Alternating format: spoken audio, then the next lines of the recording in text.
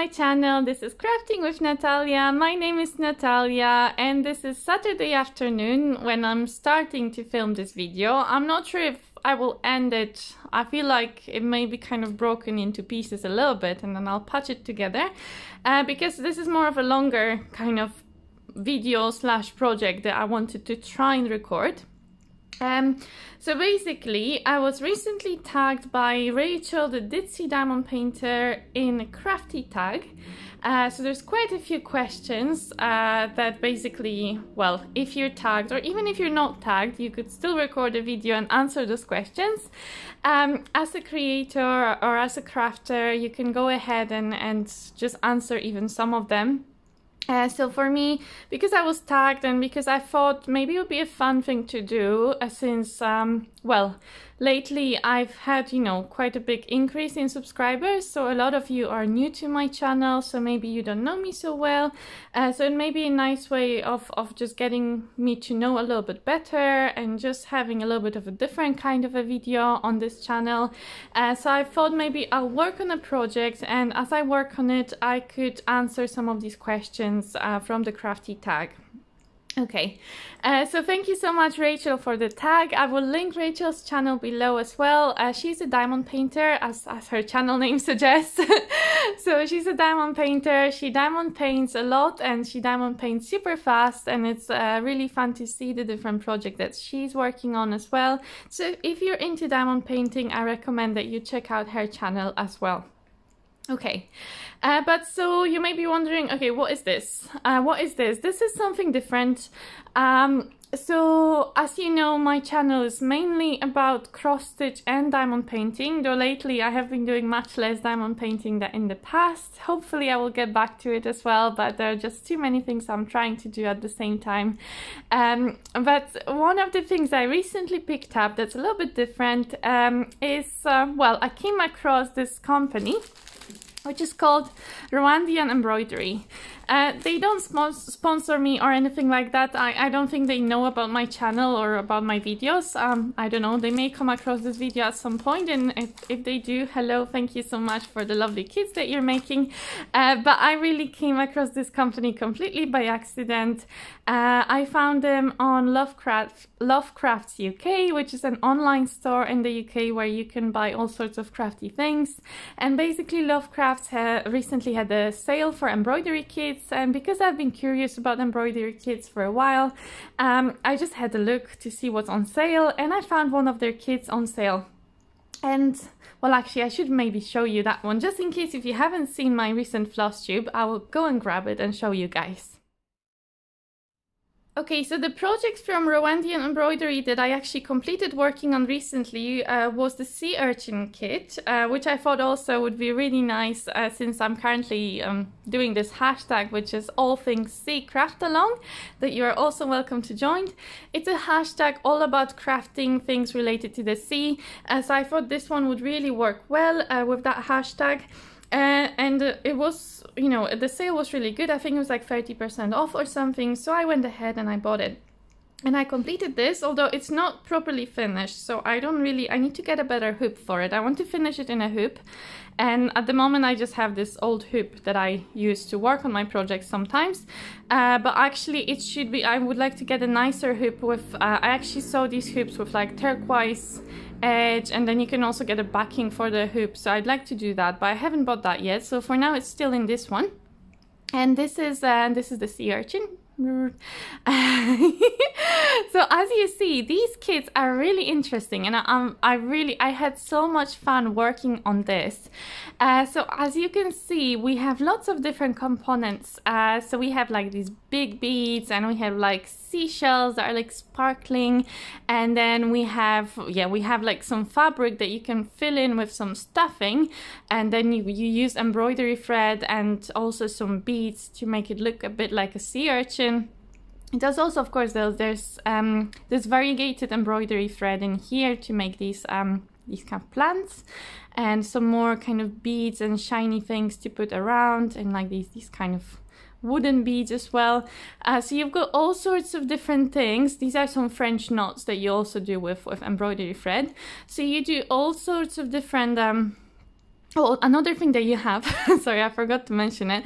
See here, and the where the, the the sea, the bottom of the sea is, uh, you have also these. Um, there's like a type of. I'm not sure if it's wool or I think it's wool or some sort of wool, uh, which is like curly kind of wool. Uh, so it's and then you can like curl it around, like you can like make a coil with it and curl it around the bottom, so it looks like um like it's like seagrass or something or like some sort of moss. Uh, and then also you have this like fluffy fluffy blue wool that you can put at the bottom that mimics water. So I thought that was really, really cool. I've, I've never seen personally anything like that. Uh, so I was very excited to, to see this and to work with all these different components. And it's much simpler than it looks. Uh, so, oh, another thing I didn't mention, see here at the back, you also have this like um, fabric that's very delicate, um, sort of half transparent fabric, um, which is called organza. Uh, so you have some blue organza and some green organza, and you can use it to create background color, uh, which I also thought was a really cool idea. And you also have some metallic metallic thread uh, that's going on here. Uh, so that was really, really fun. And yeah, I really enjoyed working with all those different components and I've never come across anything like this.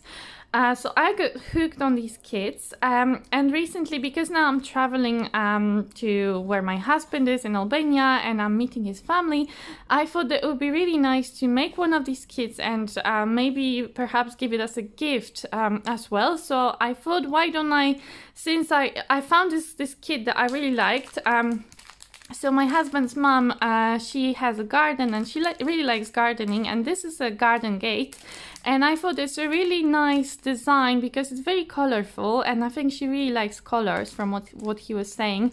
Uh, she's a very colorful, uh, very happy lady uh, and there's a lot of pinks and greens and blues in this one and there's a lot of different textures as well.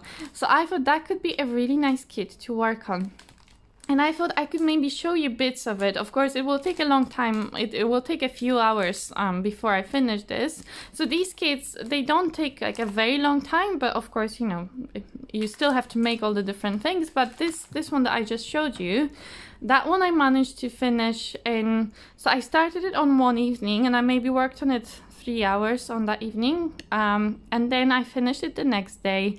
Uh, maybe that was another two or three hours. Uh, so you know between five and six hours I could finish this. So of course I'm not going to be able to show you all the five or six hours that it may take to finish this but I could just show you different bits and pieces and every maybe every time I find something useful for you to see or something interesting to show you I could also answer some tag questions um, I don't know. I thought maybe I could do something like that. I'm not sure how it's going to work. Maybe it's a silly idea, um, but it's kind of like a WIP and chat. Um, if you're a diamond painter, then you're familiar with WIP and chats when somebody's working on a project and you can work alongside on your project. And it's just more like a podcast kind of thing when somebody's talking a little bit about their life and about what they're working on and, and about like some something no in, in this case i'll be answering some questions.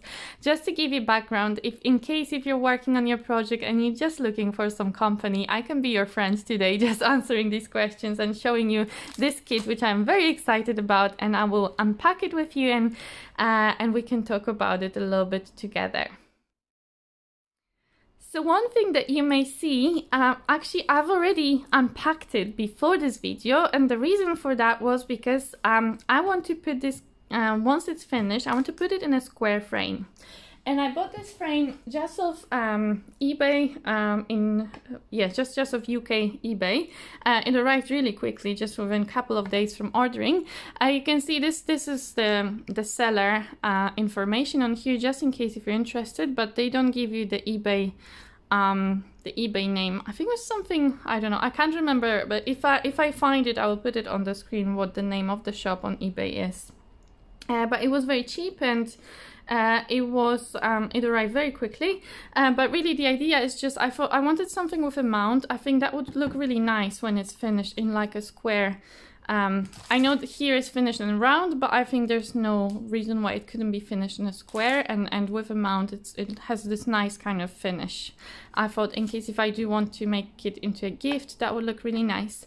Uh, but so because of that, I wanted to make sure that this actually fits well into the frame. And I also wanted to make sure that when I stitch it, I don't go beyond the um, the margin of the frame, right? So here we've got the mount and you can see, so this is, um, I think it's five by five inches that I went for. Yes, this is seven, the frame itself is seven by seven. The inside here is five by five. So I took out the mount and I just put it on top of this uh, just to have an idea how big that is. And I basically, I, I just stuck my pencil just underneath the mount. So, so th this, these, once it's finished, you won't see that pencil mark. It, it goes underneath the, the mount, but it gives me idea how big the mount is.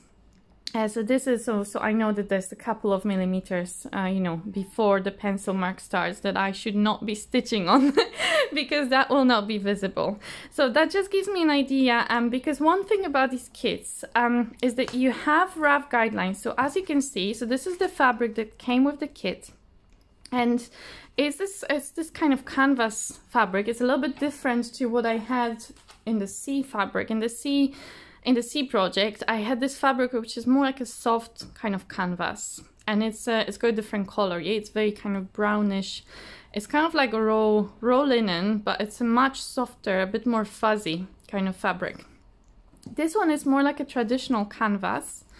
Um, I don't know how much you can see. It feels like kind of thick linen.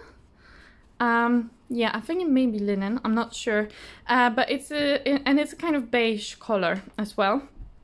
But what, where was I going, going with this? I forgot now. oh yes, oh yes.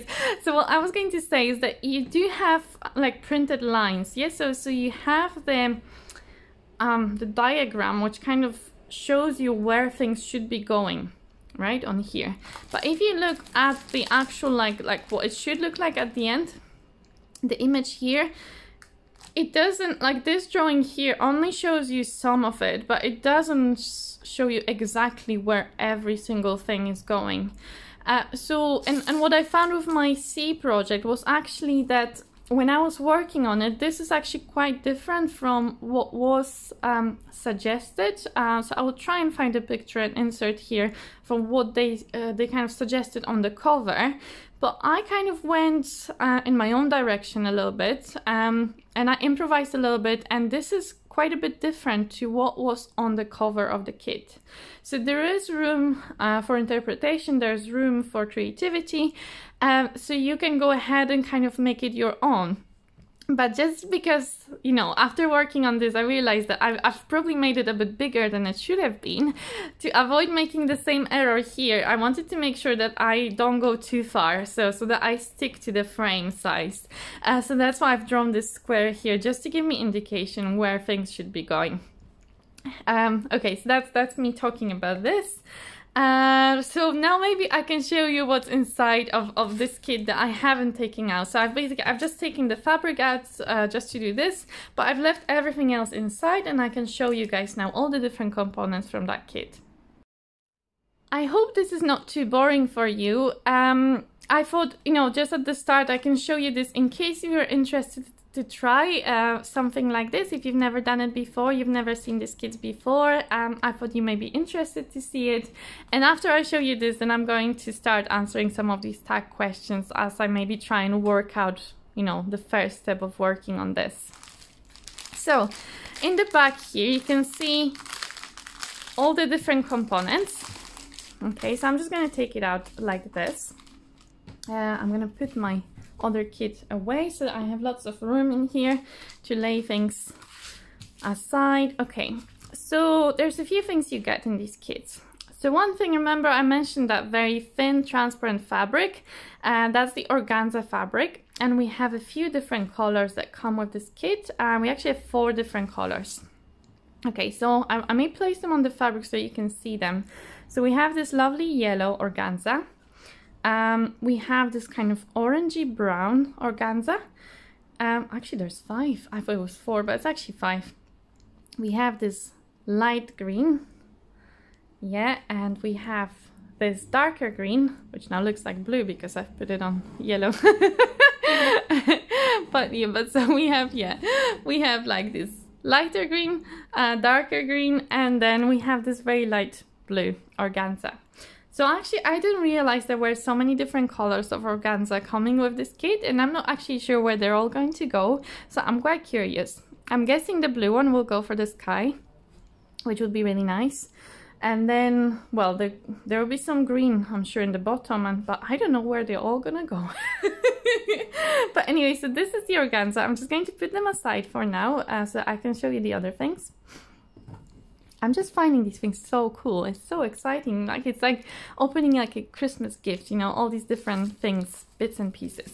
So another thing that you can see, we have all these different beads and sparkly like sequins. Um, so so yes, you have these like purple and pink, I, I think they're called sequins, sequins? I don't know, sequin in Polish, um, because I'm Polish, so I'm sorry if I'm struggling with some English words.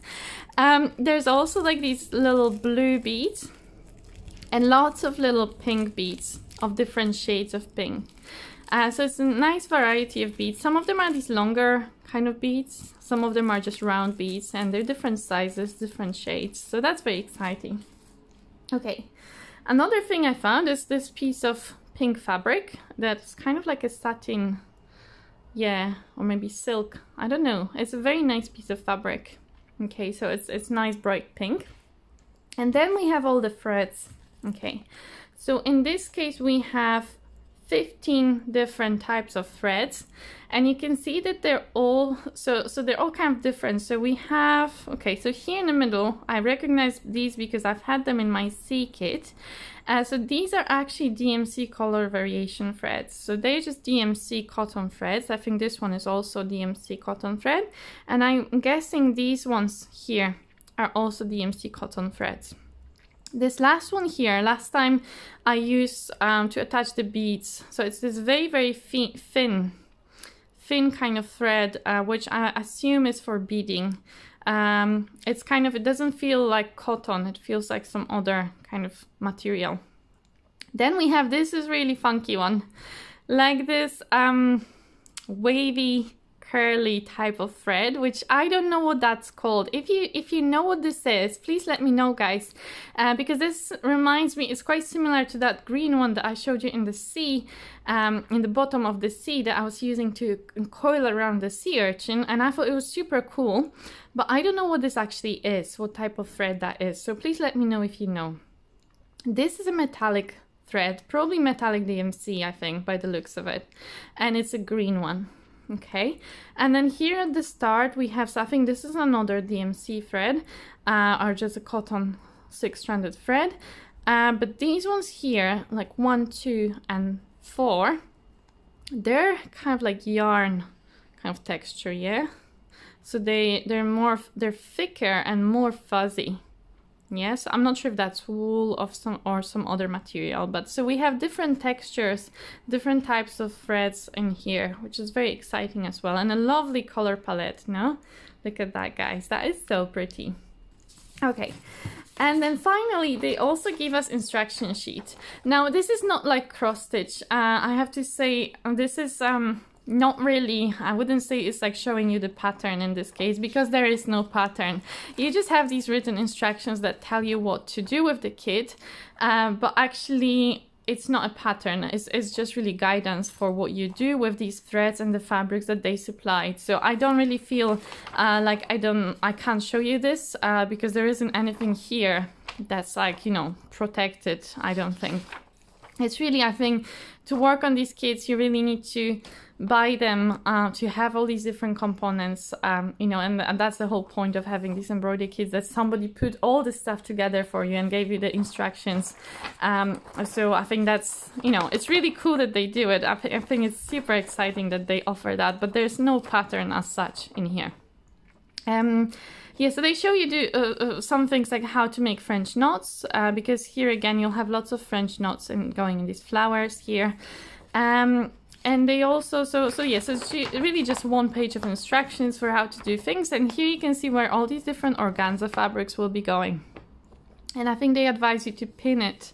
Uh, so I need to get my pins as well um, before you sew it on uh, with a thread, um, it's good practice to like to pin it first so that you know where everything's going. And so you can see, yes, the blue one goes where the sky was, and the green one is kind of covering the bottom of the piece, the light green, and then the yellow and the darker green and um, because there was five no so there must be also I, I guess maybe so what I noticed with the sea kit actually that was really interesting is that the components that I got with the kit were slightly different to what was on that front cover. And even here, see, there's no blue in the sky. So they may have made some changes, or maybe they're including different bits depending on what they have in stock in store. Uh, but so maybe even the colors of organza that you get can be slightly different from kit to kit or the types of beads that you will get can be different from kit to kit. But I think that's actually really nice as well because again that makes the kit your own and that gives you a bit of um like you know opportunity to use your creativity to make this design really your own and to, to use what you have um, in a creative way um, to make something that resembles what's on the front cover. Anyway, so that's enough of me talking about all these different components. Now I'm, I think what I'm going to do is now try and pin this organza um, so you know kind of plan where the organza bits will be going. And as I play around with it a little bit I may try and answer the first couple of questions. Uh, let, let's see what's the first question on the list of the crafty tag okay? Okay so I just had a quick read of the instructions. Um, I just I glimpsed uh, so I read the first few and glim glimpsed at the rest to have an idea what's happening. Um, so the, the instructions for the kit start also with the organza, which makes sense because you need to put your background first, um, especially the, the big background. So, so because you'll be working on this in sections, um, but you, of course you need to have the green bit at the bottom to start attaching things at the bottom as well. Um, so the first two bits of organza that I'm going to place is the blue one on top, and I'm going to pin it and then I'm going to have to secure it with thread and I think the way I'll do it I'll just stitch around my square that I um, uh, I earlier marked with my pencil I will just stitch on that with um, with one of the threads. So I think they actually so they suggested doing it in a circle and they said um, that I can yeah I can just um, they say tack a circle around the design to make it easier to get a finished round shape. That they don't specify what um, you know how to do it exactly, but I may just use one of these threads. Um, so they give you lots of excess threads as well from what I found before. Uh, so just with one strand of thread, I will just um, stitch around the edges um, just to attach this organza uh, to top and the bottom. Okay, so as I'm pinning the organza, the first question on my list is when did you start crafting and why? Okay, so that's a very interesting question. When did I start crafting and why? Um, because when, I'm not sure about when and when I should say that the start point was. Um, I started crafting when I was a kid, technically. So my mom, my mom is a very crafty person. Uh, she does um, sewing, so she used to actually make clothes. So, so you know, my parents lived in communism times, and in communism times, you couldn't really buy very many things in the shops. They were pretty empty. Uh, so what women did, they, they used to make their own clothes a lot. Um, so so my mom, as, as most women back then, um, used to sew her clothes, uh, and she was very good at that. Um, and then uh, she also used to um, uh, like uh, she used to knit uh, she, so she made a lot of knitted products like sweaters and, and hats and whatnot, you know, all sorts of nitty things. And so, uh, so yeah, so she she was always very crafty and and she can make a lot of things from nothing. She because she that's what they had to do back in the day, and she used to also make things like for Christmas, like Christmas decorations and stuff. And I remember one time, um, one year, um, she actually made a, a what do you call it? Like you know that barn that uh, jesus was um, born um, so so basically for one christmas she made like we had these figurines uh, that you could make from clay and we had like these forms that you could fill with clay and then bake them and then paint them. And so for them to have like a house uh, she would put them. Uh, she would basically um, make. Actually, she would make like the the barn, let's say, um, from basically. I think it was from cardboard, uh, and then she stuck um, matches. I like you know burnt matches on top, and she basically made it from matches, and that was super super cool. I think we still have it somewhere in, in, the basement or somewhere. It's hiding somewhere around the house. But it was a really cool thing. And she spent, you know, days working on it. Uh, but it was so nice in the end. And I just painted these little figurines and that was our like decoration. Um, and it even, she even uh, put a light in it. So you could like press a button and then it would lit up. Um, so that was super, super cool. Uh, so I remember doing her doing that. And I remember that she always used to help me like when I had any school projects and I had to actually make something for school, uh, she would always help me do that. And she was really good at doing things. And I was never really good at DIY. I was, you know, I didn't really know what to do and how to make things. Uh, but then also I was a kid, so I don't think when you're a kid you, you you're so good normally at that. I I don't know. but anyway, so she used to. Uh, yeah, so she used to be very crafty, and I would watch her be crafty. And at some point, um, well, she quite often went to this uh, shop with all the like um, threads and you know sewing uh, things that she needed for her projects. Uh, and so when we were there, there were some like um, cross stitch canvas that you could get there. And so at some point we we got uh, she got me this printed canvas and it came with a legend with the thread numbers on it. And so um, from that, um, I tried, I had an attempt at cross stitch, though I didn't really do cross stitch as such. It was more like half cross stitch. And um, I showed it on my last floss tube actually, if you wanted to see what I mean. Um, but basically, I did have attempt at cross stitch when I was very young. So, well, very young. I think I was maybe like nine or I don't know, something right, eight, or nine years old. I'm not sure. But so that's what I did when I was a kid. Uh, so technically, technically I was, you know, I did start crafting fair, fairly early on in my life. Um, but it wasn't until like later later on in life that I actually properly started crafting. Uh, so so yeah, so I only really got back into crafting um, maybe when I was well when COVID started. So I did have some moments. So so when I so initially I used to live in Edinburgh. Like when I moved to UK, I used to live in Edinburgh for like eight eight years or maybe nine years. Um, so for a long time, and I was always very like I did a lot of music. Um, so I play violin, and so I, used to play in a lot of concerts. I used to I I was with a lot of orchestras, and I used to play at weddings and stuff. So I didn't really have time for other things. But then I moved to Cambridge in the south of England, and um, that really changed my life um, because um, the music community there wasn't so big. I was living on the countryside, so it was kind of hard to to join orchestras. Uh, it was much more difficult. So I kind of took a break from performing music. And so because I took that break from performing, uh, that gave me the kind of opened up time for other things in my life. Um, and I used to do a lot of like jigsaw puzzles, but that was kind of boring after a while. And then occasionally, like I would go to like a shop um, and see something like, for example, like um, kits, cross stitch kits to make bookmarks um, or like small embroidery kits. And I did a couple of these things. So I did make a bookmark, a cross stitch bookmark, and I did work on like an embroidery kit.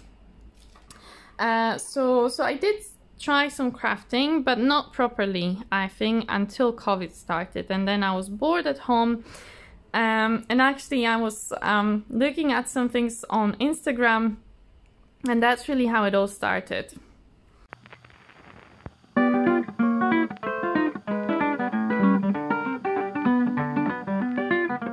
Yeah, so that's really how it all started for me. Um, with Instagram ad, which was advertising diamond painting. And I got really interested in diamond painting, really curious.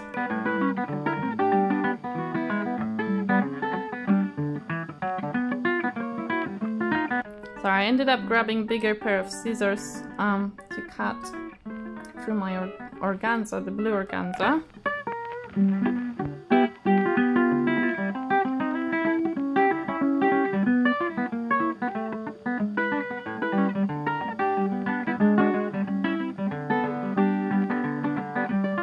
Yes, so what was I saying? Sorry, I was concentrating on the cutting and I, I will anyway overlap this um, audio on a spread up video I think so probably what you're seeing is different to what I'm talking about but I was trying to cut the organza and I got really concentrated on that. But so back to my story. Uh, when COVID started, I saw the uh, an ad on Instagram which was advertising diamond painting, which got me really curious about diamond painting. And so I decided to try diamond painting and I ordered my first diamond painting kit from Amazon, which wasn't the greatest kit in the world, I have to say it. Uh, but it was just a small diamond painting just to try out how it uh, works and if I like it. Um, sorry, I'm just moving the organza a little bit. Okay, moved it slightly down to cover. Yeah, maybe like this. yes, so when I was, um, yes, so so when COVID started, uh, I tried diamond painting and I fell in love with diamond painting, and that was kind of my first intro to crafting properly. So so that was when I actually started like you can officially say I became a crafter. And the first craft that I did properly get into that was diamond painting. Uh, cross stitch came later uh, because I was watching some diamond painting channels on YouTube and as I was watching them I discovered that um, well a lot of a lot of diamond painters actually mentioned cross stitch and occasionally I would bump into these um, some sort of floss tube videos or something. I got curious uh, and I thought maybe one day I could try cross stitch again and see what it's like. Maybe I will actually like it this time. So it was on my mind, but I didn't it for probably about a year or over a year. It was before I tried my first cross stitch kit. Okay, so now that I've pinned my organza, um, I will just stitch it with my threads just to attach it to my fabric. Uh, so that's what I'm doing now. Okay, so one thing I forgot to mention is in the kit they supply two needles, but I forgot that they supply needles. Uh, I only just remembered it now, uh, so I grabbed one of my own needles because I've got plenty of them. But they supply one needle with a big ear for all the different types of threads that you have in the kit, and they also supply one that's got a very small ear, it's a very narrow needle, and that one is for the beading, uh, for, for putting the beads on. And because it's got such a small ear, that's how I figured out that I have to use this very small, that, that last thread. It's a very, very thin thread. Uh, because when I tried using cotton thread, I couldn't actually get it through this ear.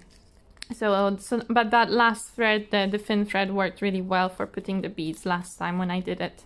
Uh, but I'm just going to put them aside for now, I because I already grabbed my own needle. Uh, so I'm going to now stitch my organza on with this needle uh, and then continue answering my tag as I do it.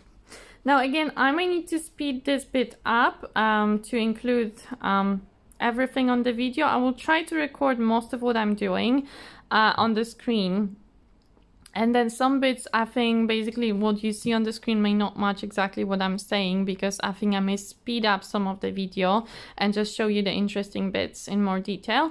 Uh, so we're just going to have to see how we roll. This is very improvised as my working on this kit, like what I'm doing here is also very improvised.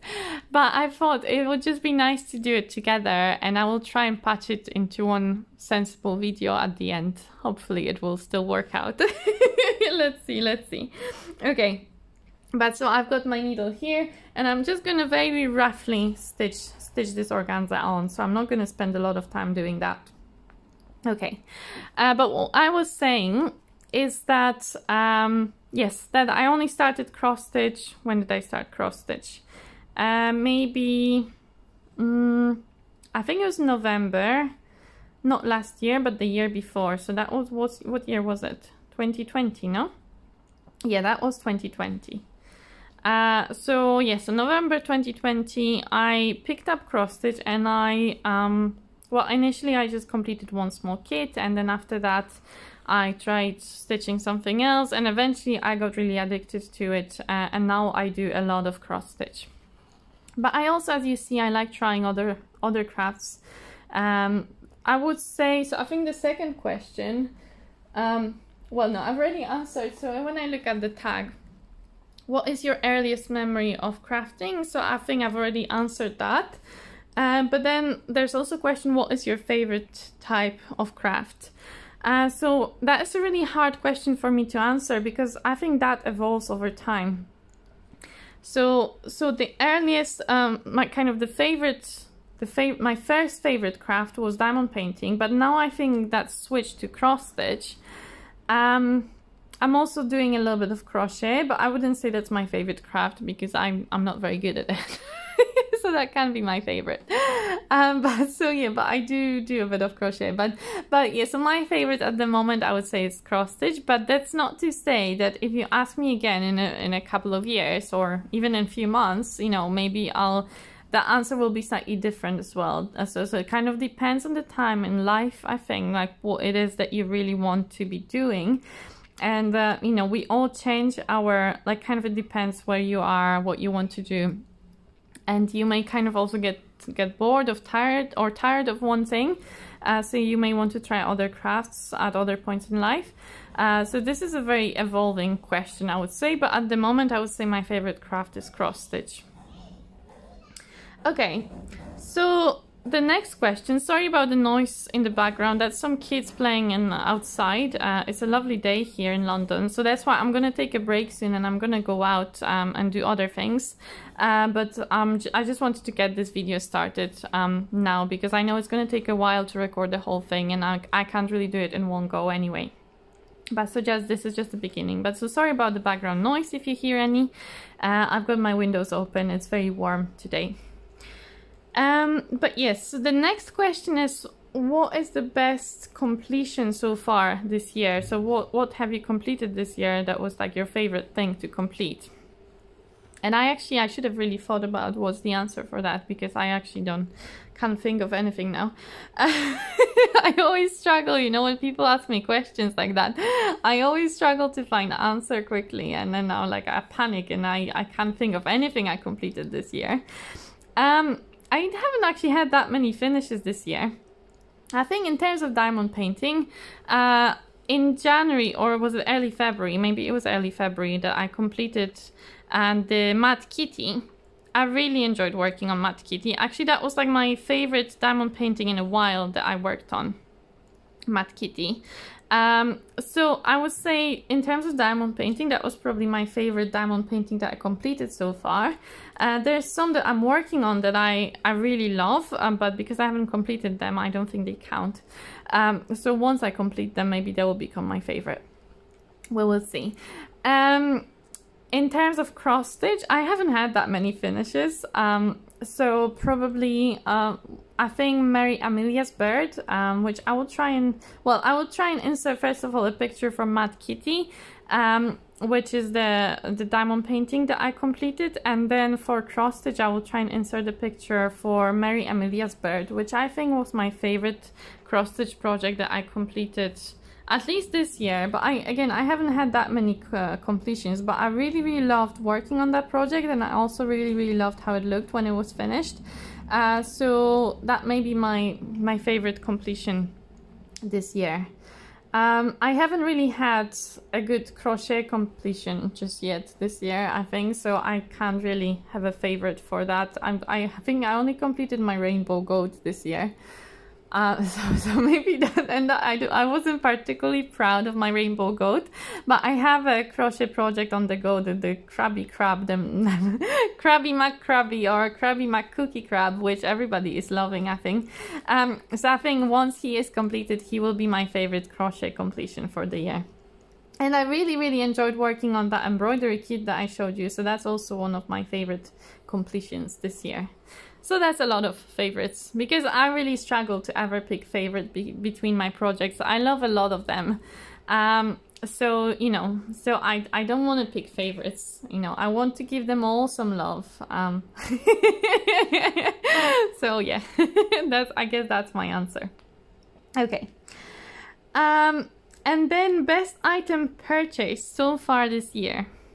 Okay, that's hard. That's hard because I buy a lot of stuff and half of the time I don't even remember what I buy and when I buy it as well. I haven't really been buying diamond paintings lately. I used to buy a lot of diamond paintings and now I have a massive stash of them. Um, and because of that and also because right now the prices of everything are going really really high Um, that includes diamond painting, but also just prices of living. Um, you know, currently I just got my new energy bills, and uh, yeah, they're not good. They're not good, guys. So, so diamond painting buying at the moment has kind of stopped. Um, but I I bought a lot of cross stitch supplies this year. Um, so you know a lot, but then usually I don't buy kits that very often. I usually just buy like lots of threads and fabrics. Um, and all that kind of thing. So I don't know. I don't know what's my favorite. I really, really like that embroidery kit. That was recently, that was my favorite purchase I made. I only paid like around 15 pounds for it, but it gave me so much joy. Honestly, I had so much fun working on it. So maybe that was my favorite purchase. I don't, the, the best value for money purchase. I don't know. it's really hard to say, guys. So what was my favorite one? I really love buying cross-stitch charts. But again, it would be really hard to just pick one favorite one of them because I love so many of them. So I don't know. It's a hard question, guys. I don't know. Maybe it will come to me later what was my favorite purchase of the year. Okay. Uh, but then now the next question is name something craft related you want to buy in future. Okay. Name something craft related you want to buy in future. Hmm. Okay, well, I have, oh, well, actually, there's, there's so many things. I mean, my wish lists are like miles long. Okay, uh, so, so that could go on for a very long time. Answer to that question. There are so many things, especially most of them are cross stitch charts or cross stitch kits, or um, they are like other cross stitch supplies, most of them. I also have a very long wish list of diamond paintings I'd love to buy. Um, yeah, a lot of them. A lot of them are still like earlier kind of diamond paint because recently there's been lots of new releases in diamond painting world but I actually there was some diamond paintings I really loved when I first started diamond painting and I still haven't bought them. Um, so there's some like Diamond Art Club diamond paintings I would really love to buy. Um, but if we're like asking, I don't know, like now, names of something craft related that you really want to buy in future again, it's a lot of things, but something that I have sitting in my Amazon basket that I haven't, that I still haven't checked out. Um, well, well, there's a lot of things that I've there's been sitting in various baskets that I haven't checked out. But um, when I went to Poland recently, and I think that actually also answers another question from this list. So, so another question, which is towards the end of the list, I think, is what crafts where is it? I can't find it. but I, I think I remember what the what the question was. Um, what craft haven't you tried yet, and why? So what what well, basically what craft would you like to try but you haven't yet, and why? And so this is something new I discovered. Uh, so this is a very very new thing. Uh, but I think this is this is a perfect um, perfect thing to mention and, and, for this question is when I was in Poland. Um, so I just came back from traveling in Poland. Well, my family is in Poland, so I went to visit them. And when I was there, me and my mom, we were walking around um, a town, which is like not far from where where my parents live. Uh, we were looking for some some other things. Uh, basically, I was looking for pajamas because I recently went like last time when I was in Poland, I bought a pajama, and I really love that pajama. I was like, Mom, do they have any other pajamas like that? And then we were looking for the pajama, which we didn't find in the end, but it was a fun day anyway. Um, but so when we were looking for that pajama we uh, bumped into a craft store uh, and my mom was like oh do you want to have a look what's in there? Um, and because she knows I like crafting and also because she needed something as well. So we went into that craft store but it was mostly there was a lot of like um, sewing supplies because I think that's what most people do in Poland. Like there's not so much uh, cross stitch or embroidery in Poland I wouldn't say. Uh, it's mostly like practical items for sewing uh, and they also had quite a bit of yarn uh, and like accessories. Um, well, I didn't know really what that what that was at first, but my mom said that right now in popular what's uh, in Poland what's trending was the most popular craft is making macram macrame. I don't know how you pronounce it in English, um, but it's these um, these products like how do you describe it? It's like you make it from like um, hmm. It's like a this is going so well.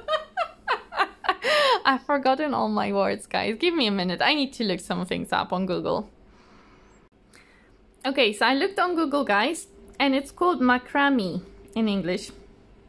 Uh, and so macrame is like you make stuff mainly either decorations you like hang in your window or on your wall or like you can also make like plant pots various like decorative items around the house? You make them from like rope or like like mm, it's not so much thread but it's like thick kind of thread. So you basically make knots and you arrange the knots in like a symmetrical kind of geometrical patterns and then you basically knot your your thread or your your lace or the rope or whatever you're using. You knot it into these geometrical patterns and you make all these like decorative items and then you know it's it's quite kind of cool. So so they had lots of these macrame macrame things hanging around in various shops in Poland uh, to buy. Or you could also buy the supplies to to make the macrame things. But at that point when we were in that shop i didn't know what all these supplies were. It's only when we left the shop my mom was like telling me about it uh, so i never bought anything in that shop but they also had all all these like wooden beads and stuff um and that's uh, apparently that's what they were for. And so once my mom like talked to me about this and like we i started noticing all these things because they were actually in a lot of shops like even just generic shops. You could buy these macrame like let's say like like the plant um plant pot holders or you know or just just like these decorative like kind of they kind of look like the um, the thing that um, you find in Native America like these um, dream catchers. Uh, so you could find like this the big circles you hang on your wall or just like I don't know down from the ceiling. So I started noticing them and then I googled it and I, I, I was kind of curious what else you could make of this um, macrame thing. And it turns out you can also make like um, like for example what I, what I found because of course like I love like for example when I do crochet right I don't really do traditional crochet but I love amigurumi so I love making like animals and I was curious if you can make something like that from macrame and I found that you can for example make a macrame owl and that got me really interested because because I'd love to have a macrame owl and I'd love to make something like that. It's a new craft. It's something I've never tried before. It looks pretty interesting. Um, and I was like, and also I'd love to make one for my mom because she loves owls. And she was like, oh yeah, you definitely have to make me one like that. It looks really cool. So I'll try and insert a picture here of the type of owls I found. So this shop, um, there was a website, um, which I can't remember the name now. I can try and insert it below as well. Yeah, I'll put it in the description below link to that website. But i think it's like love macrame or something like that. And that designer um, basically she sells patterns for these owls. And there was like four different types of owls i think that you, you could get on that website. And there's one that i liked really I, I think i liked the most but i really like all of them to be honest. So i was really curious. But the one that i liked the most actually says it's for beginners. So i thought well that's perfect right? So i am a beginner and i love owls and i really want to try that thing so I started looking into buying supplies for this and I found some on Amazon that I thought, you know, maybe I could order just from there. Um, and I was going to, but uh, it, you know, it's they're quite pricey, and it was the end of the month, and I was like, I will, I will, for, and I don't have time right now to make the owl anyway, so I put it in my basket, and I never checked it out, and it's like I'll come back to it later, and eventually I'd want to buy these supplies. But so that's something that I'd really love to buy that's crafty and I haven't bought before, so that's quite exciting. So maybe, yeah, maybe that answers the question. And also the question about what I haven't tried yet and I would really like to try. Um, I mean, I'm sure there's other crafts that will pop up, you know, with time that I will really want to try. Um, because, um, yeah, I'm really curious about crafting and there's lots of things I'd love to try. Um, some more than others, uh, but i am sure there will be other things I'll come across. And I'm generally the kind of person, if I want to try something, I'm not going to wait too long. Uh, so the only reason, well, yeah, I, I know actually what I haven't tried yet, which I would really love to try one day, is sewing. Uh, so that's the only craft that I've been wanting to try for a longer time, but I haven't. Uh, simply because I don't at the moment have capacity, like space capacity to, to have a sewing machine. it's just not possible right now for me to have a sewing machine. So that's something that I've left for future. So in the future I would love to have uh, a sewing machine. I would love to try sewing my own like for example project bags or something simple or just like finishing maybe my mm, cross stitch into pillow or something like that. I would love to try and have a sewing machine for that. But so far I haven't really been able to do that uh, so that's just put on the back burner but that is something that I would really love to try in the future.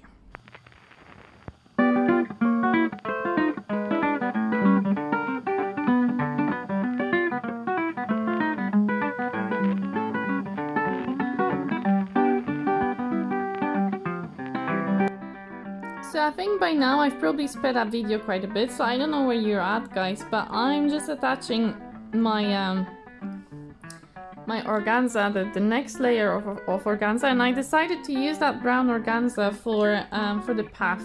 So you may have already seen that, I'm not sure, but um, yeah, so the, the, well, the brown kind of orangey organza, I'm decided I'm going to use it for the path, so I'm just attaching it uh, down where the path is.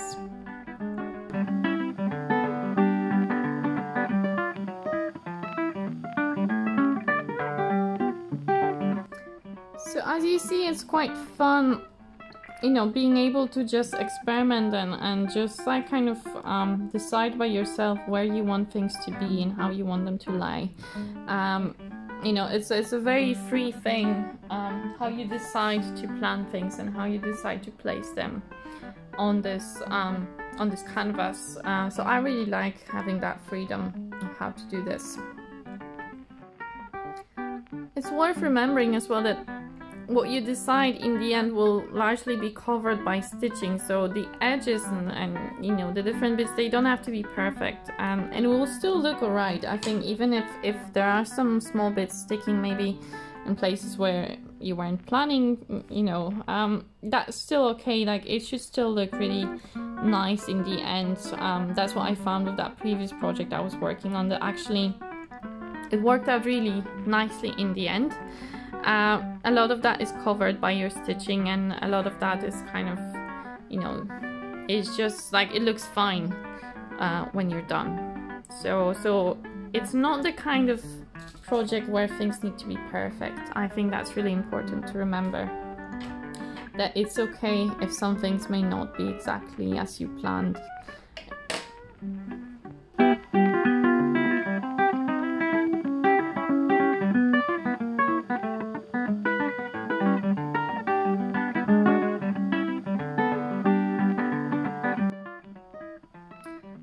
last bit of organza that I'm going to attach is that green, green organza. And again, I'm going to probably try and make it a bit more patchy. So this is very much improvised where these things are going. Um, but I'm just going to try and make these green patches, uh, which will cover some of the, um, maybe like at the bottom of the path, uh, I'm also using that that picture as a reference. Um, so where the green things are in the picture, I'm trying to put more of the green background as well. And again, that will, in the end, I will stitch that on with a piece of well actually no at uh, this one here I can't really like stitch it on because it will be visible. So what I do with the rest of organza I just attach as I attach the other stitches on that will hold the organza in place. So I don't have to worry so much about stitching it on. I just kind of place different bits of it on for now and just pin it with the pins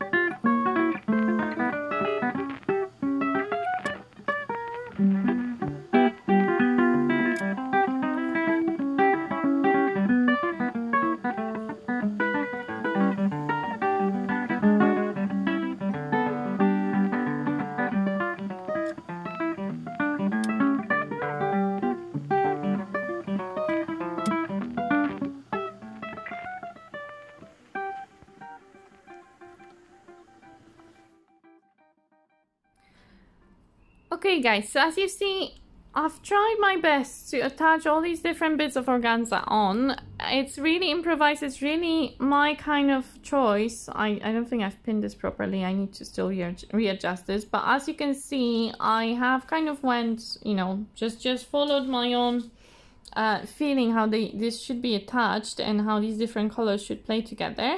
Uh, so this is very, very free, very, you know, up to you how you do this, if you do this.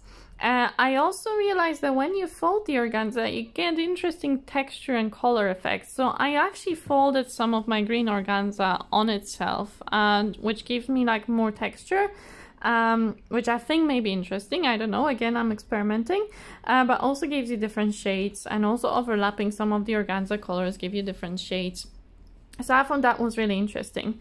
I'm also considering if maybe I should like overlay some of the blue more in some places to get a bit darker sky. For example, like maybe here in the corner, you know, having more of that darker blue would be really nice. So I may actually try and do that. I don't know. I just It just occurred to me that it might be interesting to, to do that as well. And just to get a bit of a different effect in the sky. So yeah, so again, this is very much up to you how exactly you do that.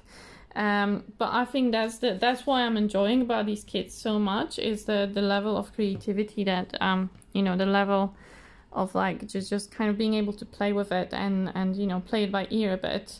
Uh, I think it's really really cool.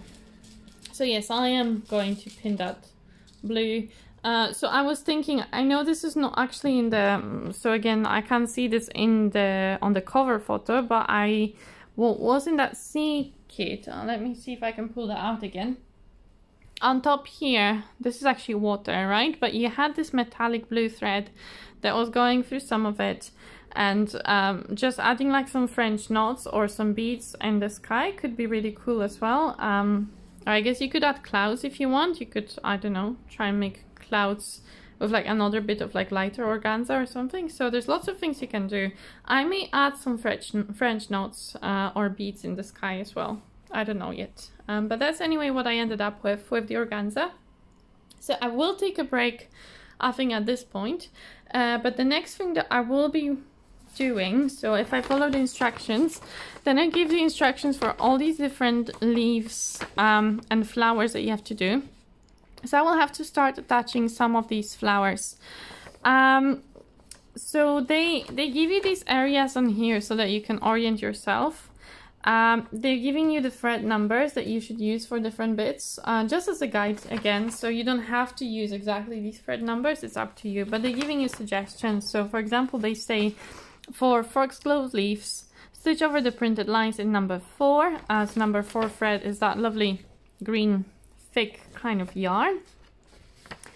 Um, using the thread doubled, okay, so we're, we're going to have to thread it twice through the needle. Add more stitches over the top in one strand of number 10. So one strand on number, number 10, that's the metallic thread. And so I'm like, I'm not very good with plants, but I think judging from the picture and from my very, very vague knowledge of uh, plants in the garden, I think these are foxgloves, no? These ones here. So I think the, they're referring to these leaves here to stitch them with two strands of that woolen thread and also see there are these thin lines going through them and I guess that's the metallic thread. So that will be what I'll be doing next but I think I may take a break now. Um, I'm actually going to have some lunch and then um, at some point I'll come back to it and I'll press the record button again. Again I may speed it up and just overlay some of the me answering the tag questions on top of the sped up video just so you can see more of the process. Okay, thanks guys! Hi guys! That's me back. Uh, so now it's we're getting towards the evening, so the light has changed and I've put my lights on. So I'm not sure. Well, I guess everything will look slightly different, but hopefully you can see still see what I'm doing. So what I thought I may do now is answer a few more of these questions um, that yeah from from the crafty tag. I will start working on these um, foxgloves, right? So these plants here uh, as I'm talking to you guys, but then probably I'll just speed up the video. And probably once I'm done answering all the questions, um, then I'll just probably, you know, um, speed up the rest of the video for you to see. Uh, and then, yeah, and then I guess hopefully I can show you at the end what it looks like when it's finished. Um, because I, I think it would be cool if you could guys see the whole process. Uh, I mean, I'm not sure if this is interesting for you or not, uh, but since I started recording it, I think it would be nice to see what it looks like when it's finished. So I would really like to include in this video at least what it looks like when I'm done and when it's all framed. So that's the plan. Uh, so yes, so I will now. I have to. I because I was away, like I was out for a few hours. I've forgotten now what I was doing. Uh, so I need to reread some of the instructions and pick the right thread and so on, and then I'll get started on it again and answer the questions. Right. So I remember where we were. So we were on using that at that point to use that um, funny thread that's kind of like wool and I was going to double it so I took the bigger needle the one I think that's the one that I had in my last kit so I found it I have a little box with my needles. So I'm gonna use a, a needle with a very big eye uh, so it should be nice and easy to thread. And so I'm going to start making these leaves uh, stitching these leaves and then I'm going to try and answer some more questions. So let me just thread the needle um, you may notice that I haven't put it on any hoop. I am thinking about it, whether I should put it on a hoop or not. But honestly, lately I've been stitching a lot in hand and it doesn't bother me too much um, not doing it in a hoop. Um, I have one, but this one may be too big. That I had three. I didn't have any project in this one. Or maybe it, will be fine. I don't know. Should I try and use this hoop maybe? And um, maybe that will help uh, just to, to make sure that my tension is all good when I work on this.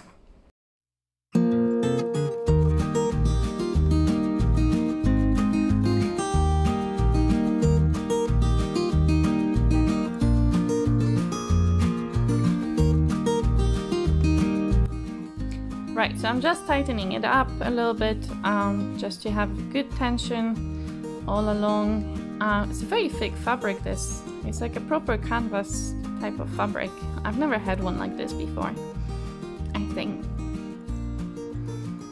Okay. And so I will be stitching over those lines that are drawn in here. Um, so I have to find some a good place to start and then I can start taking some of these pins out as I go along because once I put some threads in, um, then that will hold my uh, organza in place. Um, another thing I didn't mention before in this case, I will just make knots at the back, I think, because, um, well, I, I only make like small knots anyway, and um, I think with embroidery it's a bit hard. You, you don't have, it's not like cross stitch, you don't have, I don't know, like, like, you know, you don't have many crosses to kind of to anchor your thread at the back. So I think the safest place to, the safest uh, way of starting or ending the thread is actually by making knots. Um, I mean, I may be wrong about this. Um, if you know of a better way, uh, then let me know. Uh, but for now, I'm just going to do knots uh, in this case. I'm, they're not going to be very big. This one, this one is slightly big because um, this one actually is um, is that double thick thread. So this one is slightly on the big side, um, but I think that should still be fine. You know, when later on when I frame it, I don't think there'll be a big issue. Okay, and so I just need to get started and then I can talk to you guys about other things.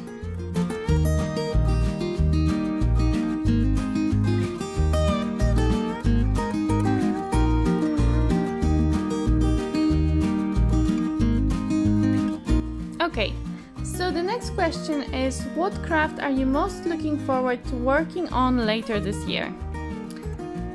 I mean, so what are we now? We're almost in September when I'm recording this.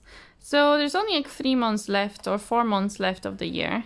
So it's not so many months. Uh, I am sorry about the noise again.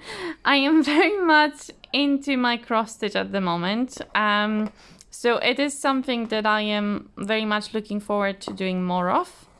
Um, so I would say probably cross stitch is top of my list, uh, but that doesn't mean I don't want to do other crafts. Um, I mean, I love all my crafts, so it's really hard to just pick one. Uh, I am very excited to try out the new the the macrame thing just because I'm really curious how that's gonna go. Uh, but it's more just yeah, just curiosity. Um, and I am really enjoying things like these uh, embroidery kits. Um, but also, like, I'm quite excited. I have some more ideas for what other things I could make out of the um, crochet, so like amigurumi type of things. Um, so, you know, so that that also I'm also looking forward to doing some crochet as well. So it's really hard to just pick one thing. I think that I'm really looking forward to. I'm really looking forward to all of my crafts. Mm, diamond painting is probably at the moment, unfortunately, it's like at the bottom of my list, but also I have projects that I started that I would really like to finish. And so I'm really looking forward to finishing them. So, so that's in a way, I'm also looking forward to that. Um, okay, so what's the next question? So the next question is, what is your biggest crafting surprise? Hmm. biggest crafting surprise. Oh my goodness, that's a difficult question. What is a surprise? Like something that something you didn't expect was gonna happen. Hmm. I don't know, guys.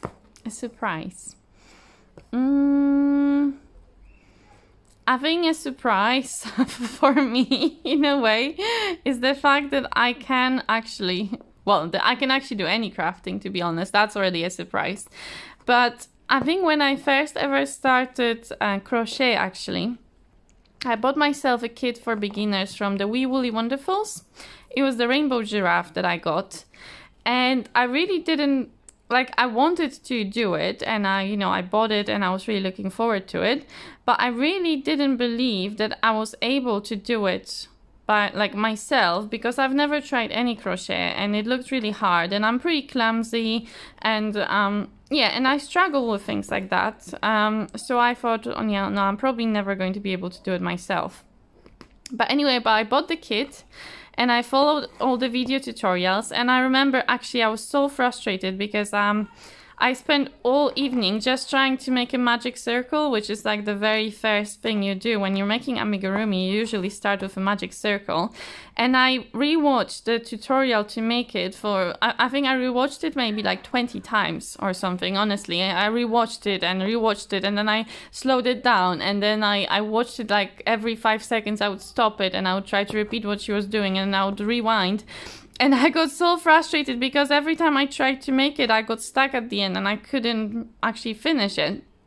So that took me like I think I don't know whole evening to finally make a magic circle, and even then I wasn't quite sure how I managed to finally do it. and so for me, it was probably like a huge surprise the fact that I managed to actually finish the giraffe. I actually managed to get the whole thing done uh, I may try and insert a picture of the giraffe here so you can see how beautiful she is. Uh, but that was an absolute shock that I managed to do it without having any idea, you know, before I started how to do crochet. Uh, so that was a huge surprise for me.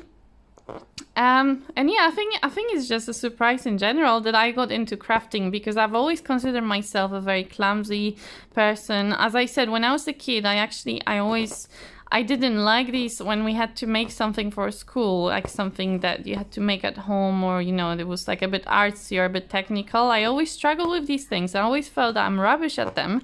So just being able to do some crafts, um, that's already for me a big, big surprise. I don't know if that's a good answer for this question, that, but that's the only thing I can think of at the moment. Maybe something else will come to me later, so I will add that in. But for now, that's my surprise. Okay. What is your biggest crafting disappointment? Okay, so the biggest crafting disappointment. Mm, well, sorry, my pin has just unpinned, so I need to re repin it somehow. Well, I think it was when I initially started diamond painting, uh, I didn't really know very much about where to buy diamond paintings and the different quality of diamond paintings that you had and how do you, how do you select the size of diamond painting and um, yeah, I just, I generally, like, I wasn't really aware how it all works. And I bought this very big diamond painting because I wasn't sure what size to get and I thought maybe I should get the bigger one but then it ended up it took me forever to finish it. And it had like these um what you call what do you call them actually? Um the they're not magic circles. What are they called? The the circles.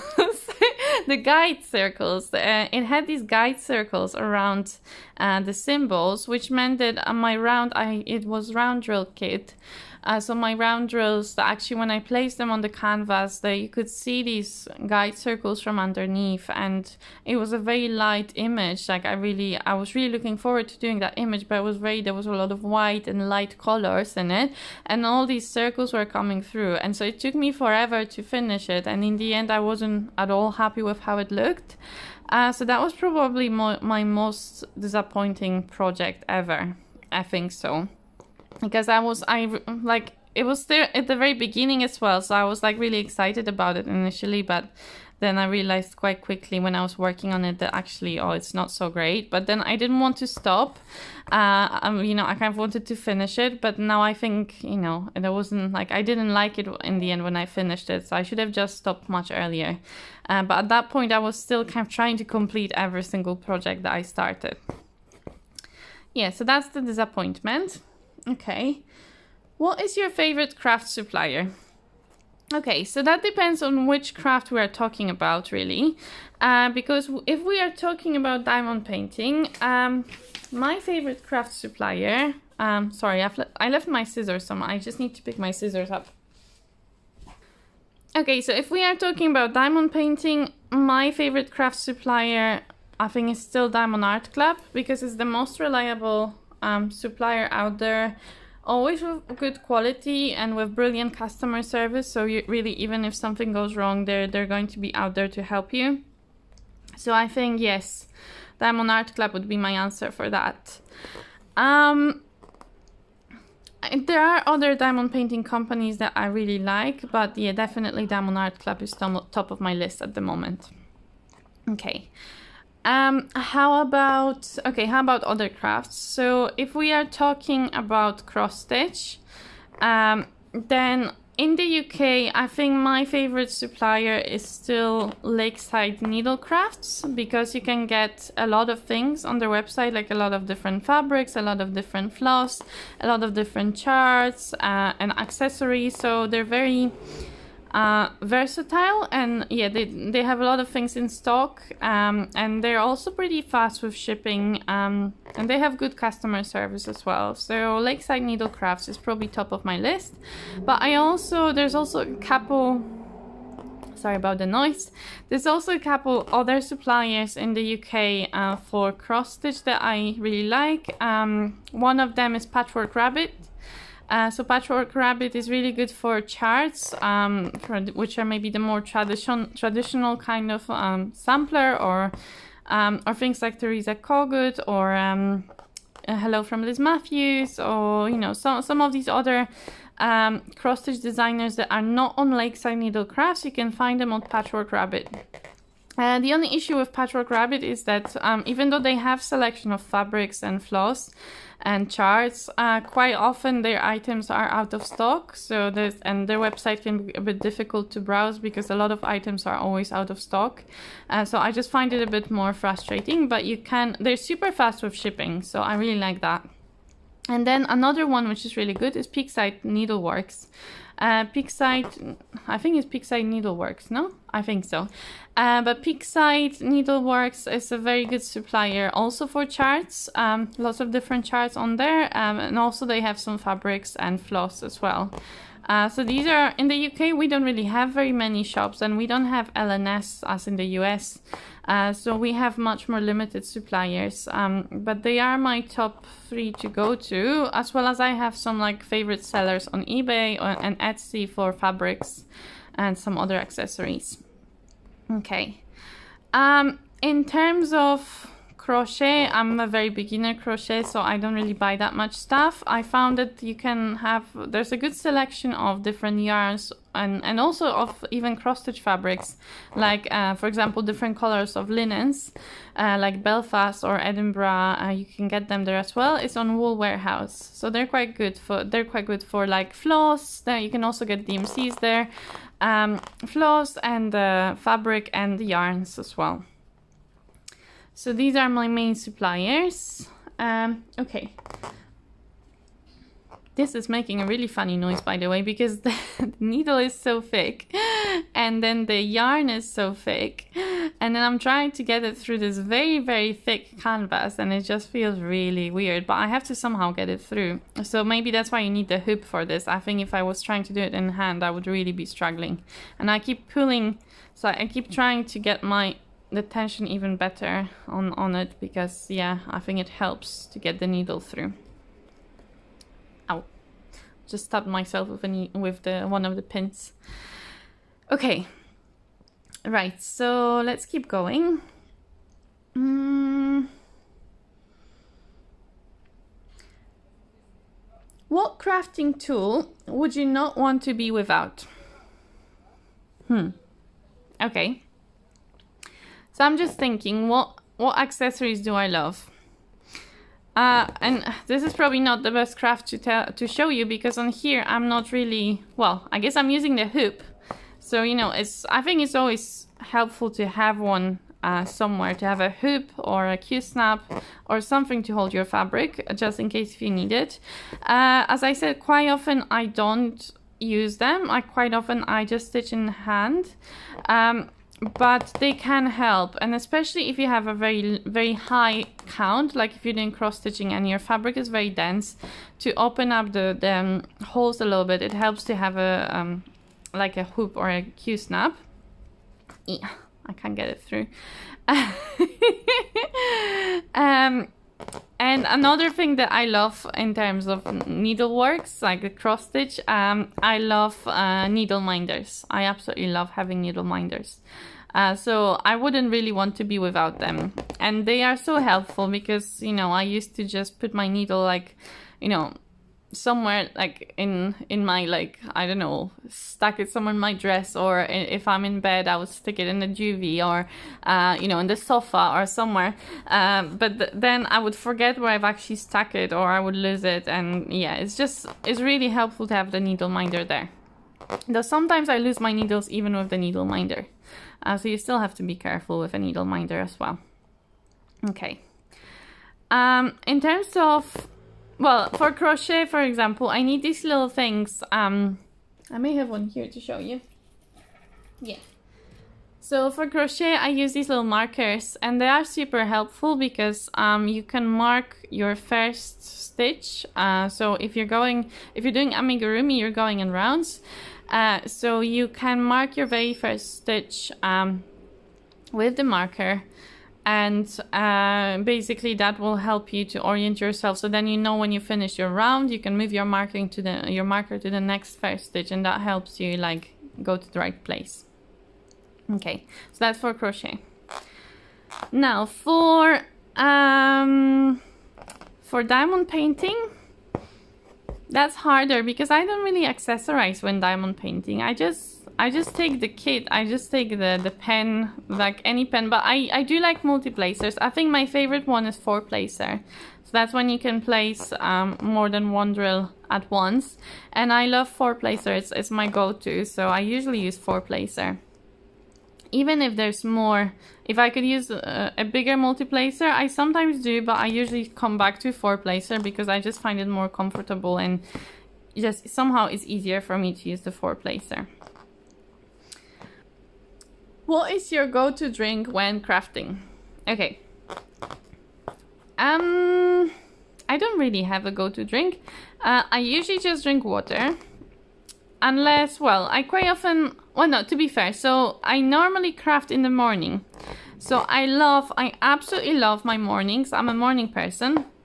And I normally get up really early in the morning.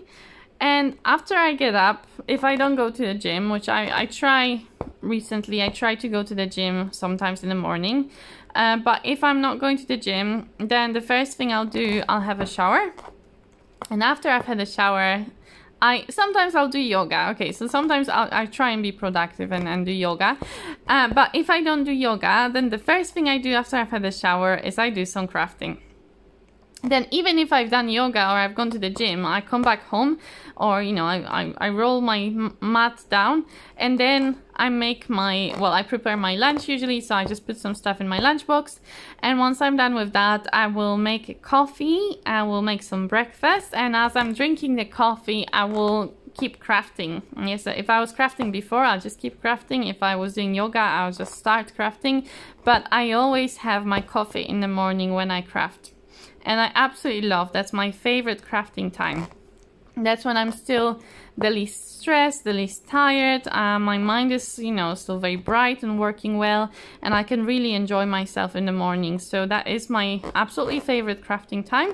And so I always have a coffee. So you can say, you know, maybe my go-to drink for crafting is coffee, if it is in the morning, of course. Then if I craft later in the day, I usually well, either it will be just water or I may make some tea. Uh, sometimes I like to drink like herbal tea or fruit tea or in summer I like to drink iced tea. Um, so depending what season it is and depending how I feel, I may have a cup of tea with me. Occasionally, I may have some wine. If it's evening, like, you know, if I finished work and I finished everything I needed to do for the day, I may have a glass of wine with my crafting but it doesn't happen so very often, just occasionally. Okay, what do you like to listen to whilst crafting? Um, floss tube. or sometimes I still have a few a few diamond painting channels that I follow and I maybe don't follow them very regularly. It's more every now and then I'll check what videos they posted recently and I'll watch some of them. Um, but the main thing that I listen to when I or, or kind of I, I occasionally lift my head and watch uh, when I'm crafting uh, that will be FlossTube because I absolutely love watching FlossTube videos well well it's kind of half watching. It's i'm watching them a little bit but i'm really listening to them more than watching. But i do lift up my head if, if they if they're showing something that interests me Then i'm like oh okay okay i want to see that. So yeah so that's what i listen to when i craft. Uh, but sometimes I get bored, um, not of the creators, um, it's just sometimes it's too much FlossTube and then I need a break from FlossTube or I just feel like something else. I feel like I want to watch some TV show, uh, maybe some movie on Netflix and I still, I usually craft um, especially if I'm alone. So let's say if, if my husband was here, um, if we're watching a movie, I will probably just watch it with him because he feels more than like I'm actually keeping him company and we're enjoying it together.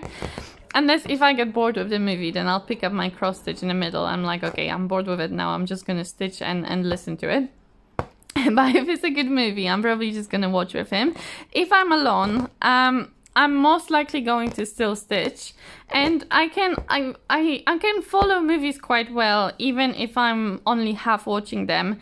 Um, so again unless it's a very good movie that I really got into um, then I may put my crafting down. But generally I don't struggle watching and crafting at the same time so I generally tend to do both uh, so I do watch Netflix when I craft as well um, and sometimes, you know, maybe listening to radio or, or I don't know. I think I may start listening to some audiobooks as well. I think that would be nice to do when I craft. So that's that really. I think I need to end this thread because I kind of got to the end of it. So I'm almost there with the green bits. Um, I need to. I've, I don't know how I'm gonna make this video. I need really need to think about this because I'm showing you stuff again. But I, I almost finished the the green and the leaves here, so I just have a few more left. So I just need another um strand, not even a full strand. I just need a little bit of that green, green fuzzy uh, wool, and then I'll finish these uh, lovely leaves here. So let me do that. I may stop talking for a bit and just do that. And maybe maybe I'll speed up finishing these leaves and then and then I'll continue on the crafty tag.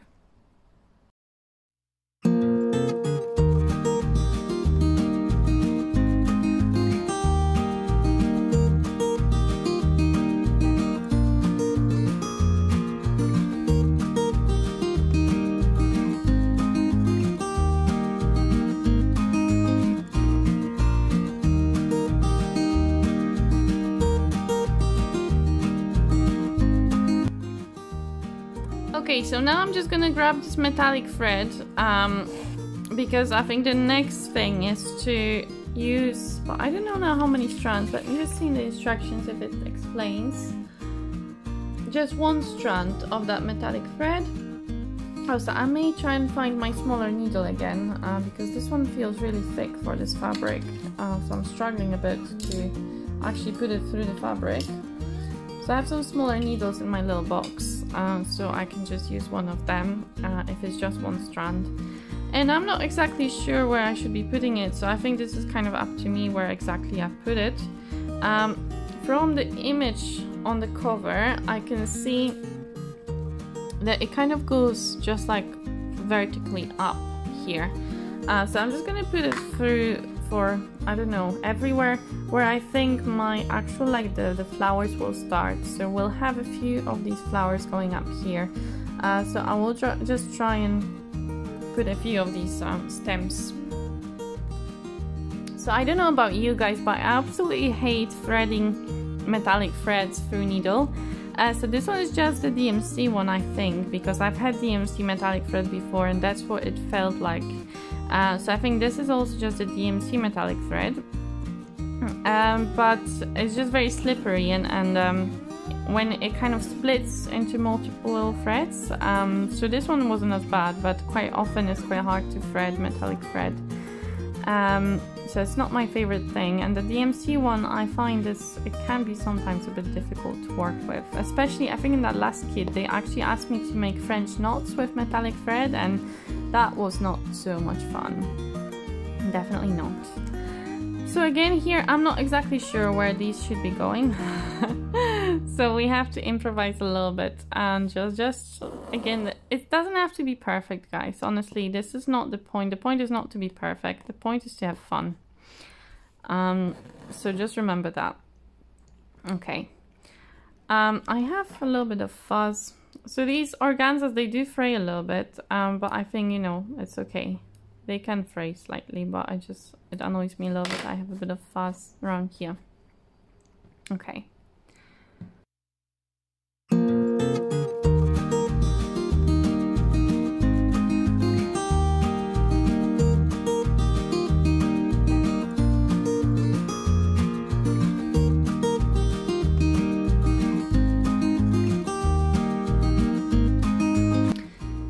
guys, so I finished the leaves here on the foxgloves. That's where I am now. Uh, so now I will have to move on to the flowers from the foxgloves. So don't worry, I'm not going to show you, like, I don't think it's possible to show you every single bit. But I wanted to show you at least the beginning of it and then I will show you the end as well. Um, but I still have a few more questions to go through, so if you want to, you can, uh, you know, stay on the video and listen to the rest of my answers. I'm just going to show you a few more bits and then I'm going to show you how it looks like when it's finished. Um, okay, so we are still on foxgloves and we're doing flowers. So for flowers, work columns of French knots in number 9, 6 strands. So it's French knots in 6 strands of floss. Um, that's pretty big French knots. Um, so that's what when we want to make these like big lines of, so you see them, they're meant to be all made up of French knots. So number 6, I think that's the variegated DMC.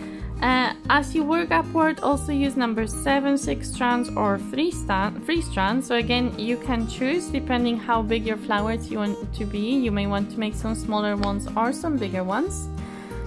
Um, do a few flowers in number 8. Scatter pink beads on printed dots. Scatter a few sequins if you wish refer to photo. So again, they give you a lot of flexibility. So I just wanted to demonstrate that to you how it works, just so that you know.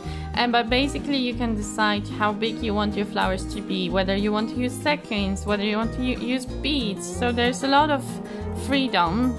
Sorry about the noise. There's a lot of freedom in how you do it. Uh, so I just wanted to show you that. Another thing that I'll be doing later that I saw that looks really cool, I see these flowers here. That will actually be done with this little, remember that little piece of fabric that I, that I had, that one?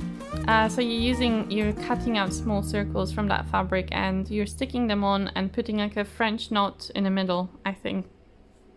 So that's really cool as well. So it's quite a big project, so I'm not going to show you everything um, because it's I think it's actually bigger than the one I did last time. So it will probably take me even longer. But I'm going to speed up some of it. I'm going to show you some of it as I work on it. And then at the end, I will show you how it looks like when it's finished. Sorry, this video kind of keeps evolving as I keep working on it, but I hope you're still enjoying it, guys. Okay. Okay, so because my French knots will be done with six strands of floss, at least to start with, uh, and number four, no, that was not, it wasn't number four, was it? It was number nine and number seven, and then number eight. So they're saying make a start with this one, start with the dark one. Then you can do some with number eight. No, then you can do some with number seven in six or three strands. And then you can also use this, it's another fuzzy kind of yarn you can also make French knots with that one as well, so that you get lots of different textures and colors in them. So I'm going to start with number 9 as they advised. Um, and I don't know yet how exactly that's going to work. And I'm also not so very good with French knots, but hopefully that'll be alright. Because they're done with 6 strands, I'm using a larger needle. So I'm using the one with the big eye again. And so I'm not splitting my yarn, I'm just going to thread it as it is. Uh, so that's a lot of that's a very thick piece of of thread. Sorry, I think I said yarn, but I actually meant thread.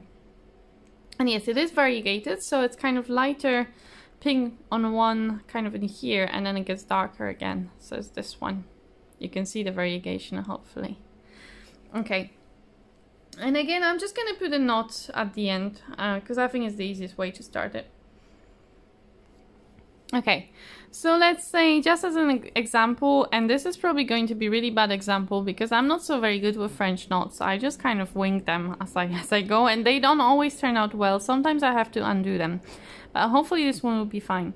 So I'm thinking there's a little dot here, so I'm going to try and put French knot in here and see how big it will end up being. Some of them may be a bit looser, some of them a bit tighter, but I, I think in this case that's nice.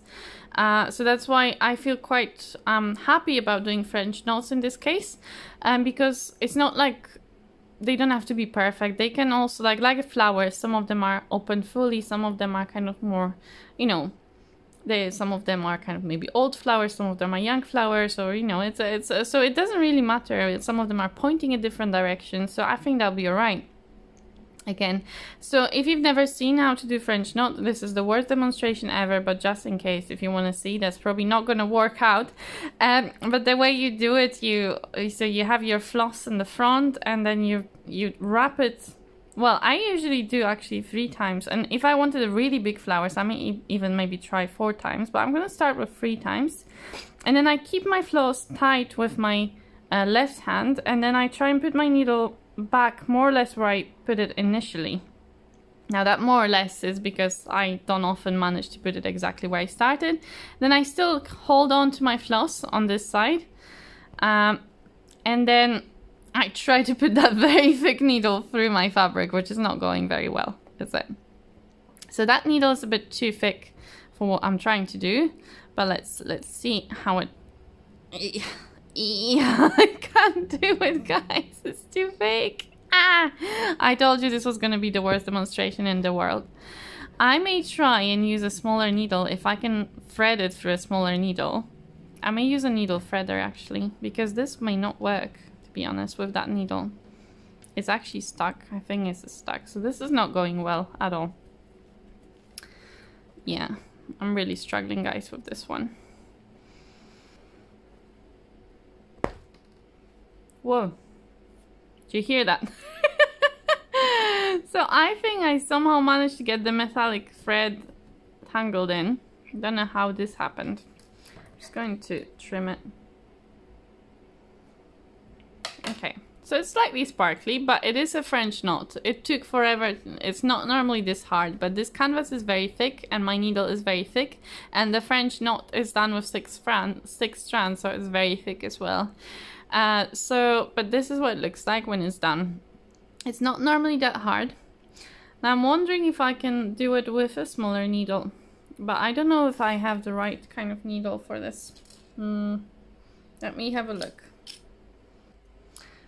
Okay, so with the help of this very basic needle threader that I've got here, which somehow survived this and didn't fall apart, uh, I managed to thread a smaller needle. Um, so let me try again with a smaller needle. See if that works better. But I don't know. I think it's also the floss that's very thick and the canvas. So the, the French knots are a bit of a nightmare to, I have to say guys. It, it's, it's gonna be hard. But let me try. Oh, I can already, even this is hard. It's the, the, actually it's the floss rather than the needle. Actually and this needle is even harder to pull now because it's so thin. So I'm not, I'm not expecting this to work. But let's try again. So one, two, three. Okay. And I'm just going to put it back more or less where it started. I hold on to my thread with my left hand. I try to keep it I, as tight as I can. Yeah, but it's not the needle. I just realized it's actually the, the floss that's too thick for what for the canvas. So this is becoming really difficult. Hmm. But it went through. Okay, it went through. Right. Okay. So, this is my second French knot. So that's how it goes. Now, I'm not going to make you sit through this because this is going to take a long time. These French knots are hard work, I tell you that. And my hand is going to be dead once I'm done with it. probably if they gave me slightly thinner canvas, that would have really helped because this one is a little bit too thick for what we need to do. Uh, but that's okay, that's okay. Uh, we'll manage. Uh, I'll hopefully, maybe if I use like a cloth or something to try and pull my needle, uh, it will hopefully be okay in the end. And sorry, I just bumped the camera. It's all getting too complicated.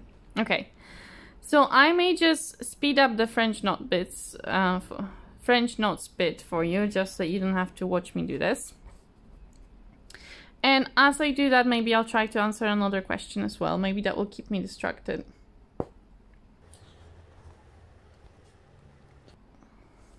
So the next question is, what other hobbies do you have?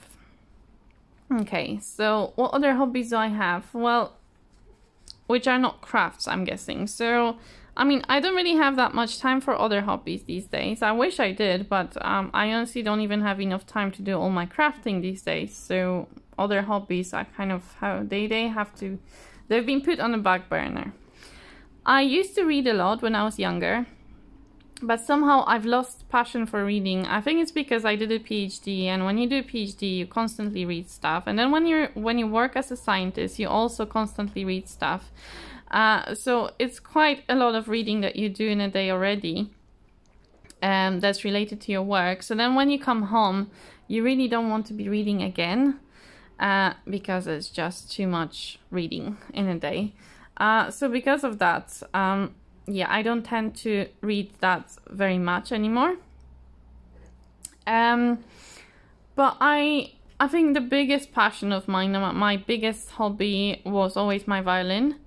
Um, that's something that I always loved doing. Um, and I used to, uh, as I think I said earlier, when I used to live in Scotland, um, they have a very big amateur music scene. Uh, so there's a lot of orchestras, a lot of ensembles, um, that do uh, just like kind of amateur um, orchestras and stuff um, where you can join in and you can just perform and you can invite your friends to the concerts and you know it's a lot of fun. And um, then also yeah I used to play at weddings and yeah I was I used to play a lot of music and then I also used to tutor violin which now I also I have one student now. Um, even when I was in Cambridge even though I didn't do much music performance I had one lovely um, lovely violin student. Uh, she was an Italian lady. Well, she was uh, she was an English lady, but her father was Italian, and so she she had these Italian origins, and she was so fun. I absolutely loved. She was like one of my best friends there. So the lessons were really just fun for me um, to do as well. So I really enjoyed that. Um, yeah, so that was that. So so yes, a violin playing, um, music performance. That was always something that I enjoyed, and that was probably my main hobby outside of crafting. But again, I don't have that much time these days to do it. Uh, sometimes I'll find time, uh, you know, just to play some violin, and yeah, occasionally I have lessons. Uh, with my student. But other than that, um, yeah, I don't really play so much these days. Um, it's just I rather do other things. Uh, I think I reached a level when there wasn't very much like it's it's hard to progress at after a certain point. You just kind of stay on one level because I've learned kind of as much as I could learn, and then after that, you, you know, I, I would have to put a lot of practice in to improve and there wasn't much point in and you know it would take hours and hours of practice a day and i didn't have that kind of time or motivation so i kind i guess it kind of got left out a bit. Um yeah but i've always loved it. And music um so i love classical music. I'm very passionate about it. Um i love listening to it. I love playing it. Um i love talking about it. And yeah and there's, there's so many composers i adore and um, I love going to concerts and stuff. So so yeah, that and and I guess that's another hobby. I love going to concerts or theater. Though I don't do enough of it, but I love. Uh, I love arts in general. I love going to galleries and stuff. I love seeing art in different forms. Okay guys, I did have to stop the video for a little bit because I was really struggling with the French knots, but I repositioned myself and I, I was doing it kind of nearer to me and I am getting the hang of it. I had to switch back to thick needle because you know what happened to the very thin needle? It got bent. It was really hard to use the very thin needle. It it got ruined in the process. Uh, so now I'm back to the thick needle and actually I'm managing to pull it through the fabric. It's alright. It's not as hard as I thought initially, so it's not too bad. So I'm just gonna keep going with the French knots. Um, and maybe try and answer another question and then um, yeah and we're gonna start wrapping up this video because it's getting very long isn't it? So there's a question if I looked in your bag would there be any evidence that you're a crafter? Um probably not to be honest. I do occasionally carry my cross stitch with me. If I think I'm gonna have time to stitch either at work or let's say if I'm traveling or I don't know, I'm gonna be on a train for a while or I think I may pop into a coffee shop and um, I may want to stitch, then I will have will take some small cross stitch project with me, but um, that doesn't happen that often. So I normally don't have anything crafty in my handbag to be honest, as disappointing as it may be, guys.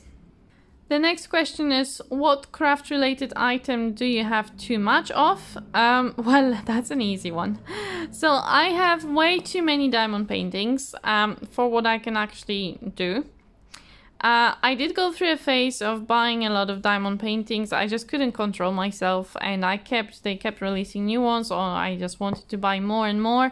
Uh, so I built up a big stash of diamond paintings, and now uh, because I don't do that much diamond painting, I don't actually I'm not actually able to work through this stash. I have too many for what I can actually do, which is a bit dis disappointing, I guess. But you know.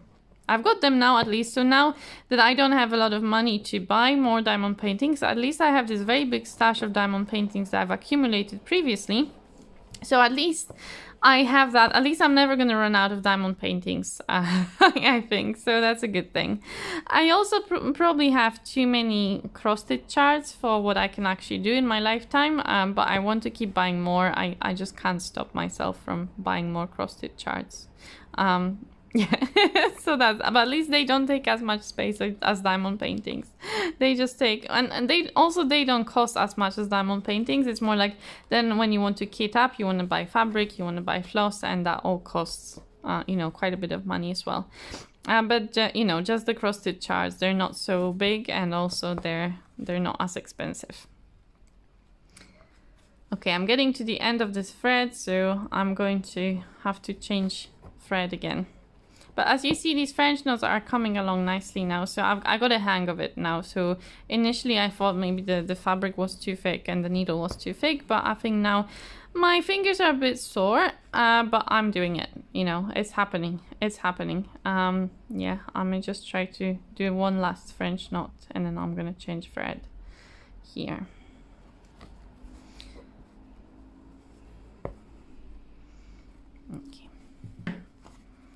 So I'm actually going to pick that different thread color now. So I'm going to go with number seven. Um, and I'm going to go still with six strands, I think.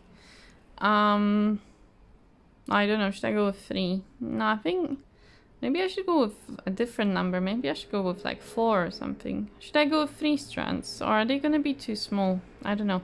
I may start, I may do a few in six and then I may do another few in three strands.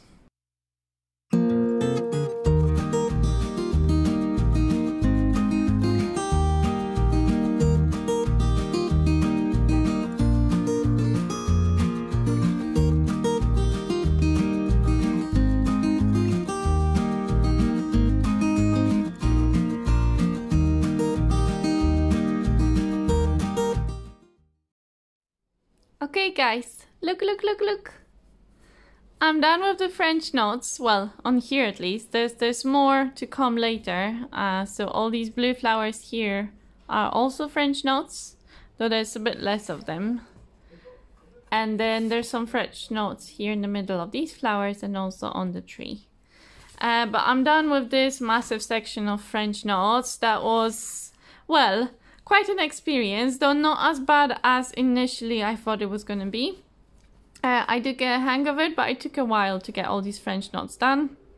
Some of them, you can see those in the bottoms are quite large. So these are the ones that were done with six strands of floss and I did them, most of them I did by three turns over my needle. Um, then I have some smaller ones which I did with two turns on my needles or some that I only did with one. Um, and also some of the, the ones up here are done with uh, like three strands of floss and some of them are done with that yarn type of thread. Uh, and some of them are only one turn up here and I pull them quite hard from the back so that they, they go pull it a little bit into the fabric so they're really small. Okay, but so that's really how it looks. So I think that looks pretty good in the end. A little bit different, so so they were meant to be more straight pointing up. Mine ended up being very thick and pointing a little bit in that direction. Well, I say it's because it's windy um, and the wind is blowing that direction. So mine are a little bit on the wonky side um, because of the wind. Um, but um, also they maybe are a bit thicker than they should have been. But I did my best uh, and I think they still look pretty good as they are. I'm still happy with them. And I think when it all, when I finish everything, it will look very nice. Um, I think this video is already very long, so I'm not going really to keep you guys longer. Um, I am going to probably have a break anyway, uh, but the next thing to do is add some sequins um, and that bit next to French knots where I have these big circles here. So we have these sequins, like the, the purple ones. Uh, so I'm going to try and, and basically place them, this one's upside down, it doesn't want to turn the right way up, or maybe it is like this, or maybe it's just like that. Uh, so, so some of them are more shiny, apparently, and some of them are not so shiny. Or maybe I'm just being really stupid. No, this one is not shiny on either side. That's interesting, okay. And some of them are really shiny. Um, so we've got these really shiny ones, but this one's quite big. I don't know. Need to think how to. So I can also use some beads if I think the sequins may be too too big for like here, for example, I could use some beads. Uh, so I have some lovely pink beads. Uh, so I will play around with that and then I will meet you at the very end when I'm finished with everything. I will show you the end product. Um, uh, hopefully this gave you a nice overview how these kits from Rowandean embroidery work and also possibly how you can do your own embroidery. Um, you know, the different things that you can use uh, in case if that's something that you are interested in. And hopefully you enjoyed me answering the tag questions. I only have really one more that I wanted to answer.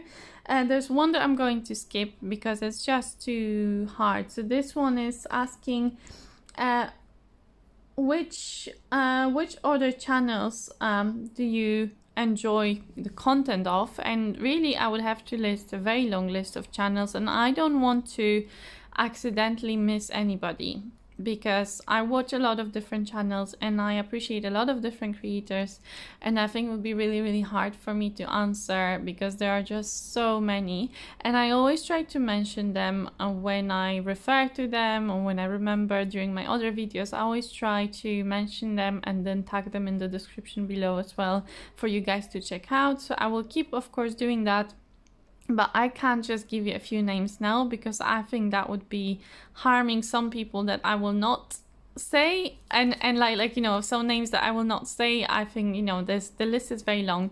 So I will skip that question. And then at the end of the video I will answer the last question.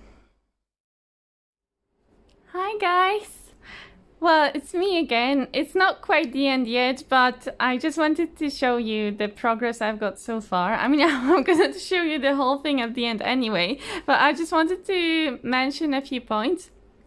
So I've been working on it for quite a few hours. Well, I worked on it a little bit last night and a little bit this morning. Sorry, there's my hair on it, so let me just pull it out.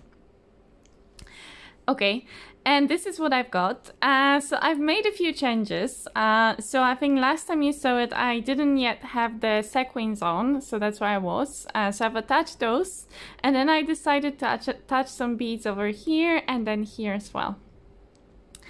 Then I decided to make some changes to the sky and I actually added a little cloud here which is like a blue cloud and I added some French knots in metallic thread in here. Then I thought oh it'd be nice to have like a lighter cloud on this side and I actually I because I didn't know there was going to be um sky organza for the sky included with the kit. So I actually ordered some very light blue organza which actually kind of looks almost white. And so I used that uh, so it's almost it's like a very very lightish blue organza. And then I thought it would be so nice to have French knots in silver thread in silver metallic thread and I didn't have a DMC metallic thread in silver but I found Kreinik um, so it was just a number four Kreinik uh, in I, I don't know the shade but it was just a silver one. So I added some French knots here in the cloud. Um, then I continued working on those plants. I don't have the flowers yet uh, because these are actually, that's why I wanted also to like to stop the video here or to, to restart the video here. Uh, it's because I'm quite excited about adding those stitches here. So I just wanted to mention them to you guys.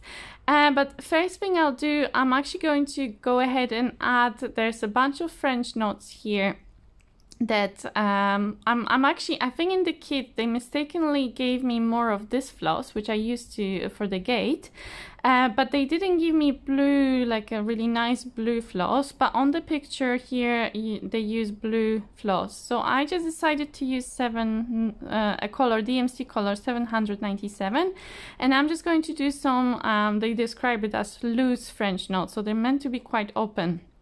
So I'm going to try and do some more open French knots here.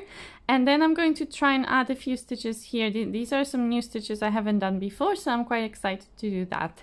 Uh, other things that I've done uh, this morning was added some more yellow organza on the sides here to add a bit of kind of brighter color. So I folded it a couple times, so it's very nice and bright. I've also added these stitches here on the path and um, it's all coming along really nicely. I can like pre-show you guys. So I'm kind of every now and then I'm checking with with the mount. Uh, but look, look, look, guys, it's looking pretty awesome, isn't it? I'm very, very excited about this. So I thought, uh, just in case if you guys want to hang around and um, watch me do it in a sped up version, I may just add these flowers here with you guys there. Um, and just maybe add some music in the background and then in the end I will show you the, the finished thing maybe. I don't know. I kind of wondered if maybe I should also record putting on these flowers here because they will be quite exciting. So I haven't decided yet, but for now I'm just going to add these flowers here with you guys here.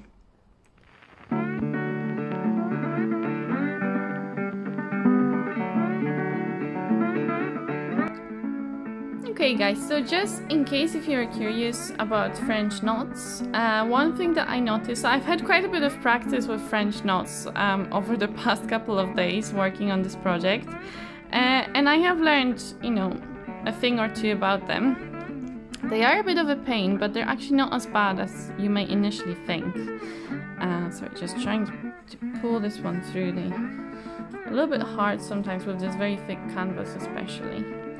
Okay, but so if you want to make your French knots a little bit looser, um, generally I think I think what the solution is is when you see when you wind oh sorry when you wind up your thread on your needle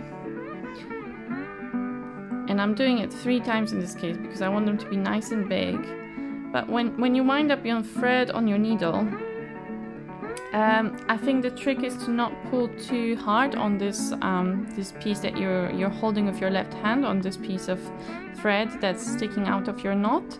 If you pull very hard on it, the knot is going to get quite tight, which is quite often what you want. But in this case, because we want to keep them a little bit on the looser side, I'm just kind of letting it go. So I'm not actually holding on to it all the time. I'm just occasionally giving it a bit of a tug, um, but I'm not holding on to that piece of thread. Uh, so that way the the French knots becomes kind of more more open. Uh, so that's a nice effect as well. And that's what these uh, these projects have been really nice for is learning the differences. So you can really experiment with what happens when you you know when you pull too tight when you pull too when, when you leave them loose and and you know when you make it big when you make it small. Uh, so it's all been a really nice experiment for me learning all these things uh, so I really like that about these projects.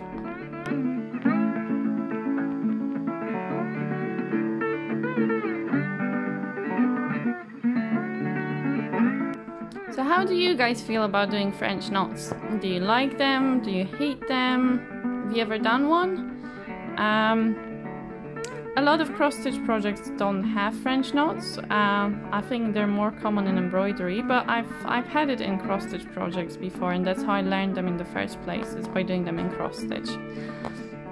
I think they're much easier if you're working with a standing frame. Um, I don't have a frame. Uh, I've never worked with a frame, so normally I hold my hoop in one hand can't get this knot through.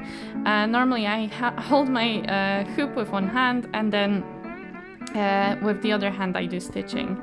And so, so that's all right for cross stitch, but actually um, when you're doing French knots, you kind of need to hold on to that piece of, you know, it really helps to, to have two hands available. So it gets a bit tricky if you're only doing it one-handed.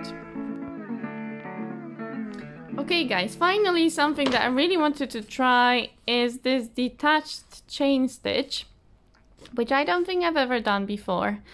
Uh, so I watched a little quick video tutorial yesterday how to do it, so hopefully I can do it.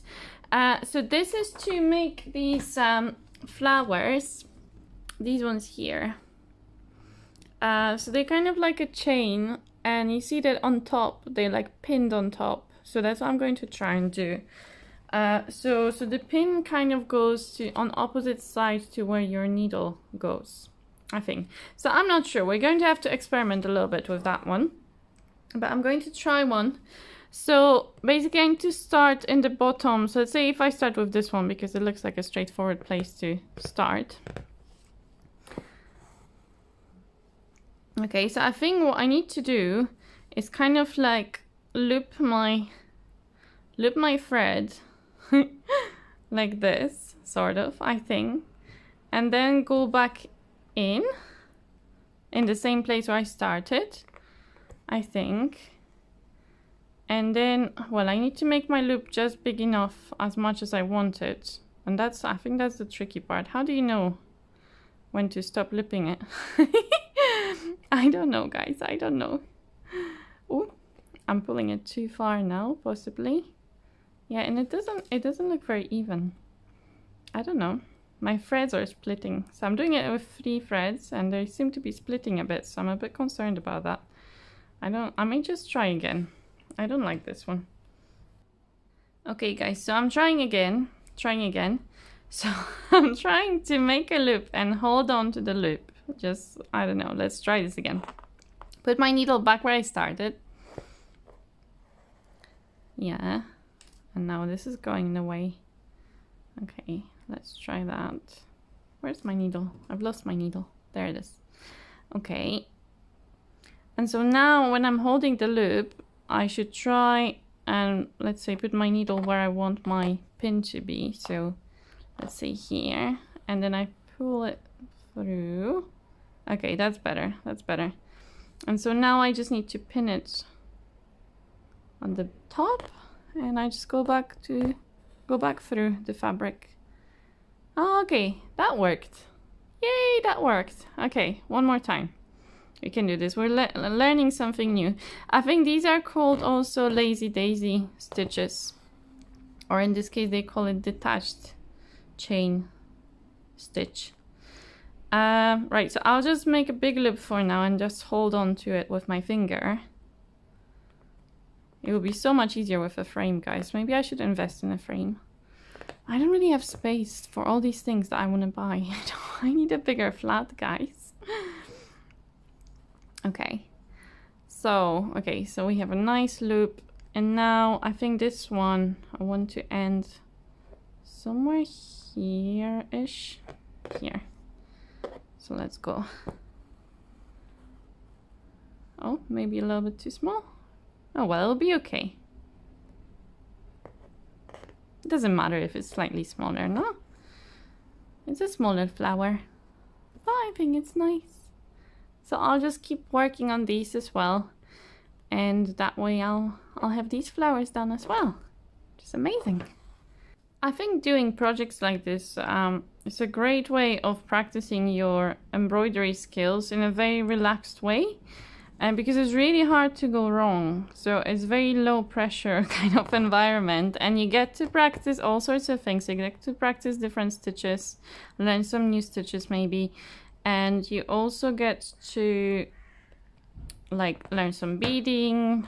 Um yeah it's like i think it's a really good way of practicing uh, embroidery skills. So i i find it really helpful. Um and i think you could even like try and make something of your own. If you buy your own supplies, if you can be bothered to like, I think one day I may try that as well.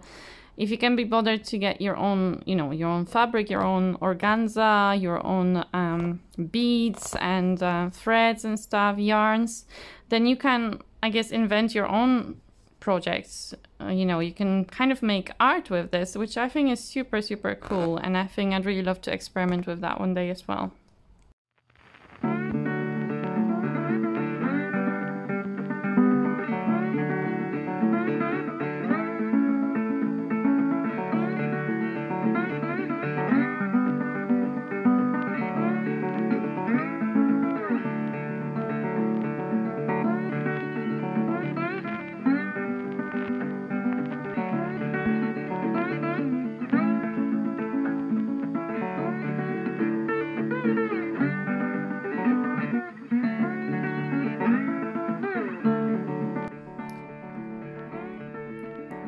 Guys, so as you may have seen, I've finished, I've completed these flowers, the, the French knots and these flowers, the, the daisy stitches or whatever they're called, uh, lazy daisy. and so now I'm, you know, I'm getting really close to being, you know, done. It's only a few more things that I will need to do. Uh, so I will have a break again uh, but uh, maybe maybe when I'll be doing these flowers I may record another little section I'm not sure. Or if not I'll just show you when I'm completely done next time. Um, so one thing that I still need to add is this little pinky thing at the bottom. Uh, so kind of I need to figure out a way to coil it around here uh, to make these kind of pink things in the bottom uh, I also need to add some beads around and then I also of course have to make the, the tree and these these lovely flowers with with this fabric. Uh, so that's what I've still got to do. Um, but I'm almost there almost there guys. Look look look look. Yay! That's so amazing. I'm so happy. Okay guys.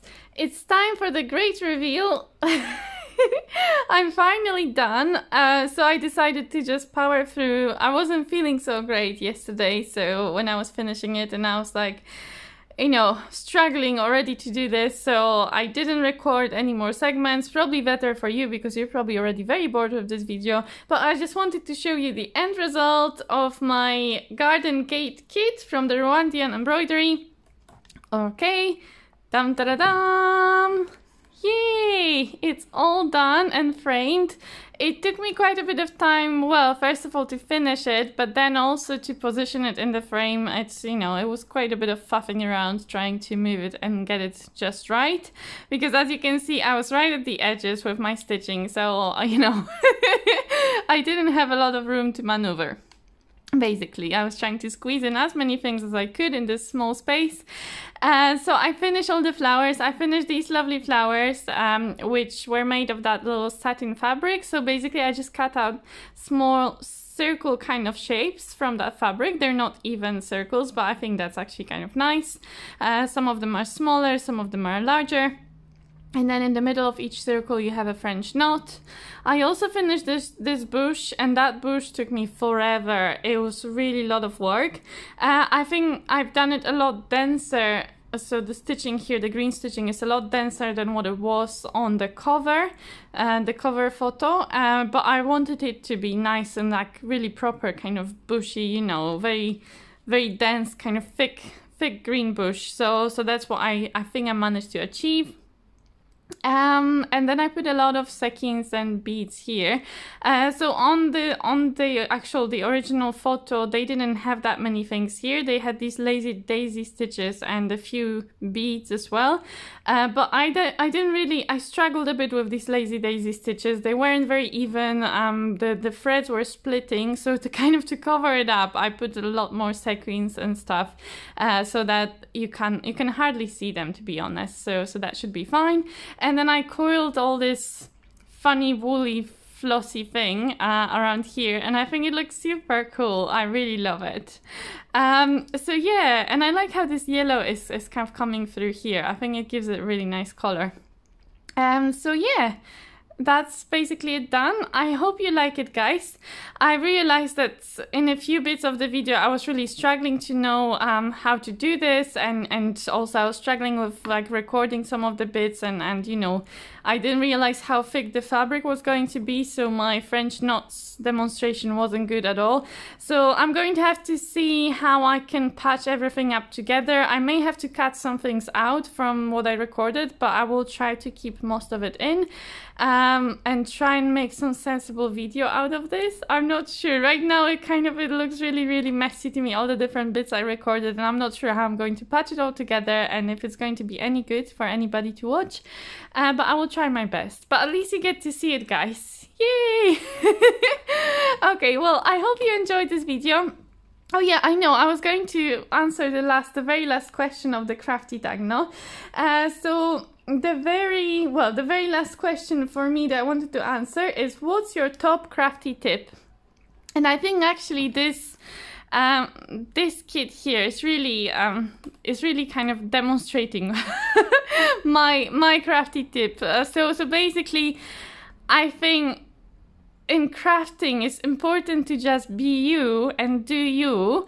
And just let yourself like let yourself be creative. Um like don't don't worry too much about being perfect. I think that's the tip. Like don't worry about being perfect because this is not perfect. This is not even looking like what it looked like on the cover. And you know you could see how i struggled how i was like discovering how to do this. And you know this video is not perfect. It's not a tutorial video. It's just me being real trying to work on this with you guys. And I think that's important in crafting. Like just be you, just just experiment, just just enjoy the process and don't try to be or you know, if you can try to be perfect, but don't worry if you're not perfect, basically. Uh, so that's just that's all I wanted to say at the end. Uh, again, I hope you enjoyed this video. If you did, please hit the uh, the like button underneath, um, the thumbs up button, and, and if you're not subscribing yet, but you think you might like it here, then please consider subscribing. Okay, guys, um, well, it was lovely speaking to you today. Uh, have a lovely day or lovely evening wherever you are in the world, and I hope to see you in my next video. Bye now.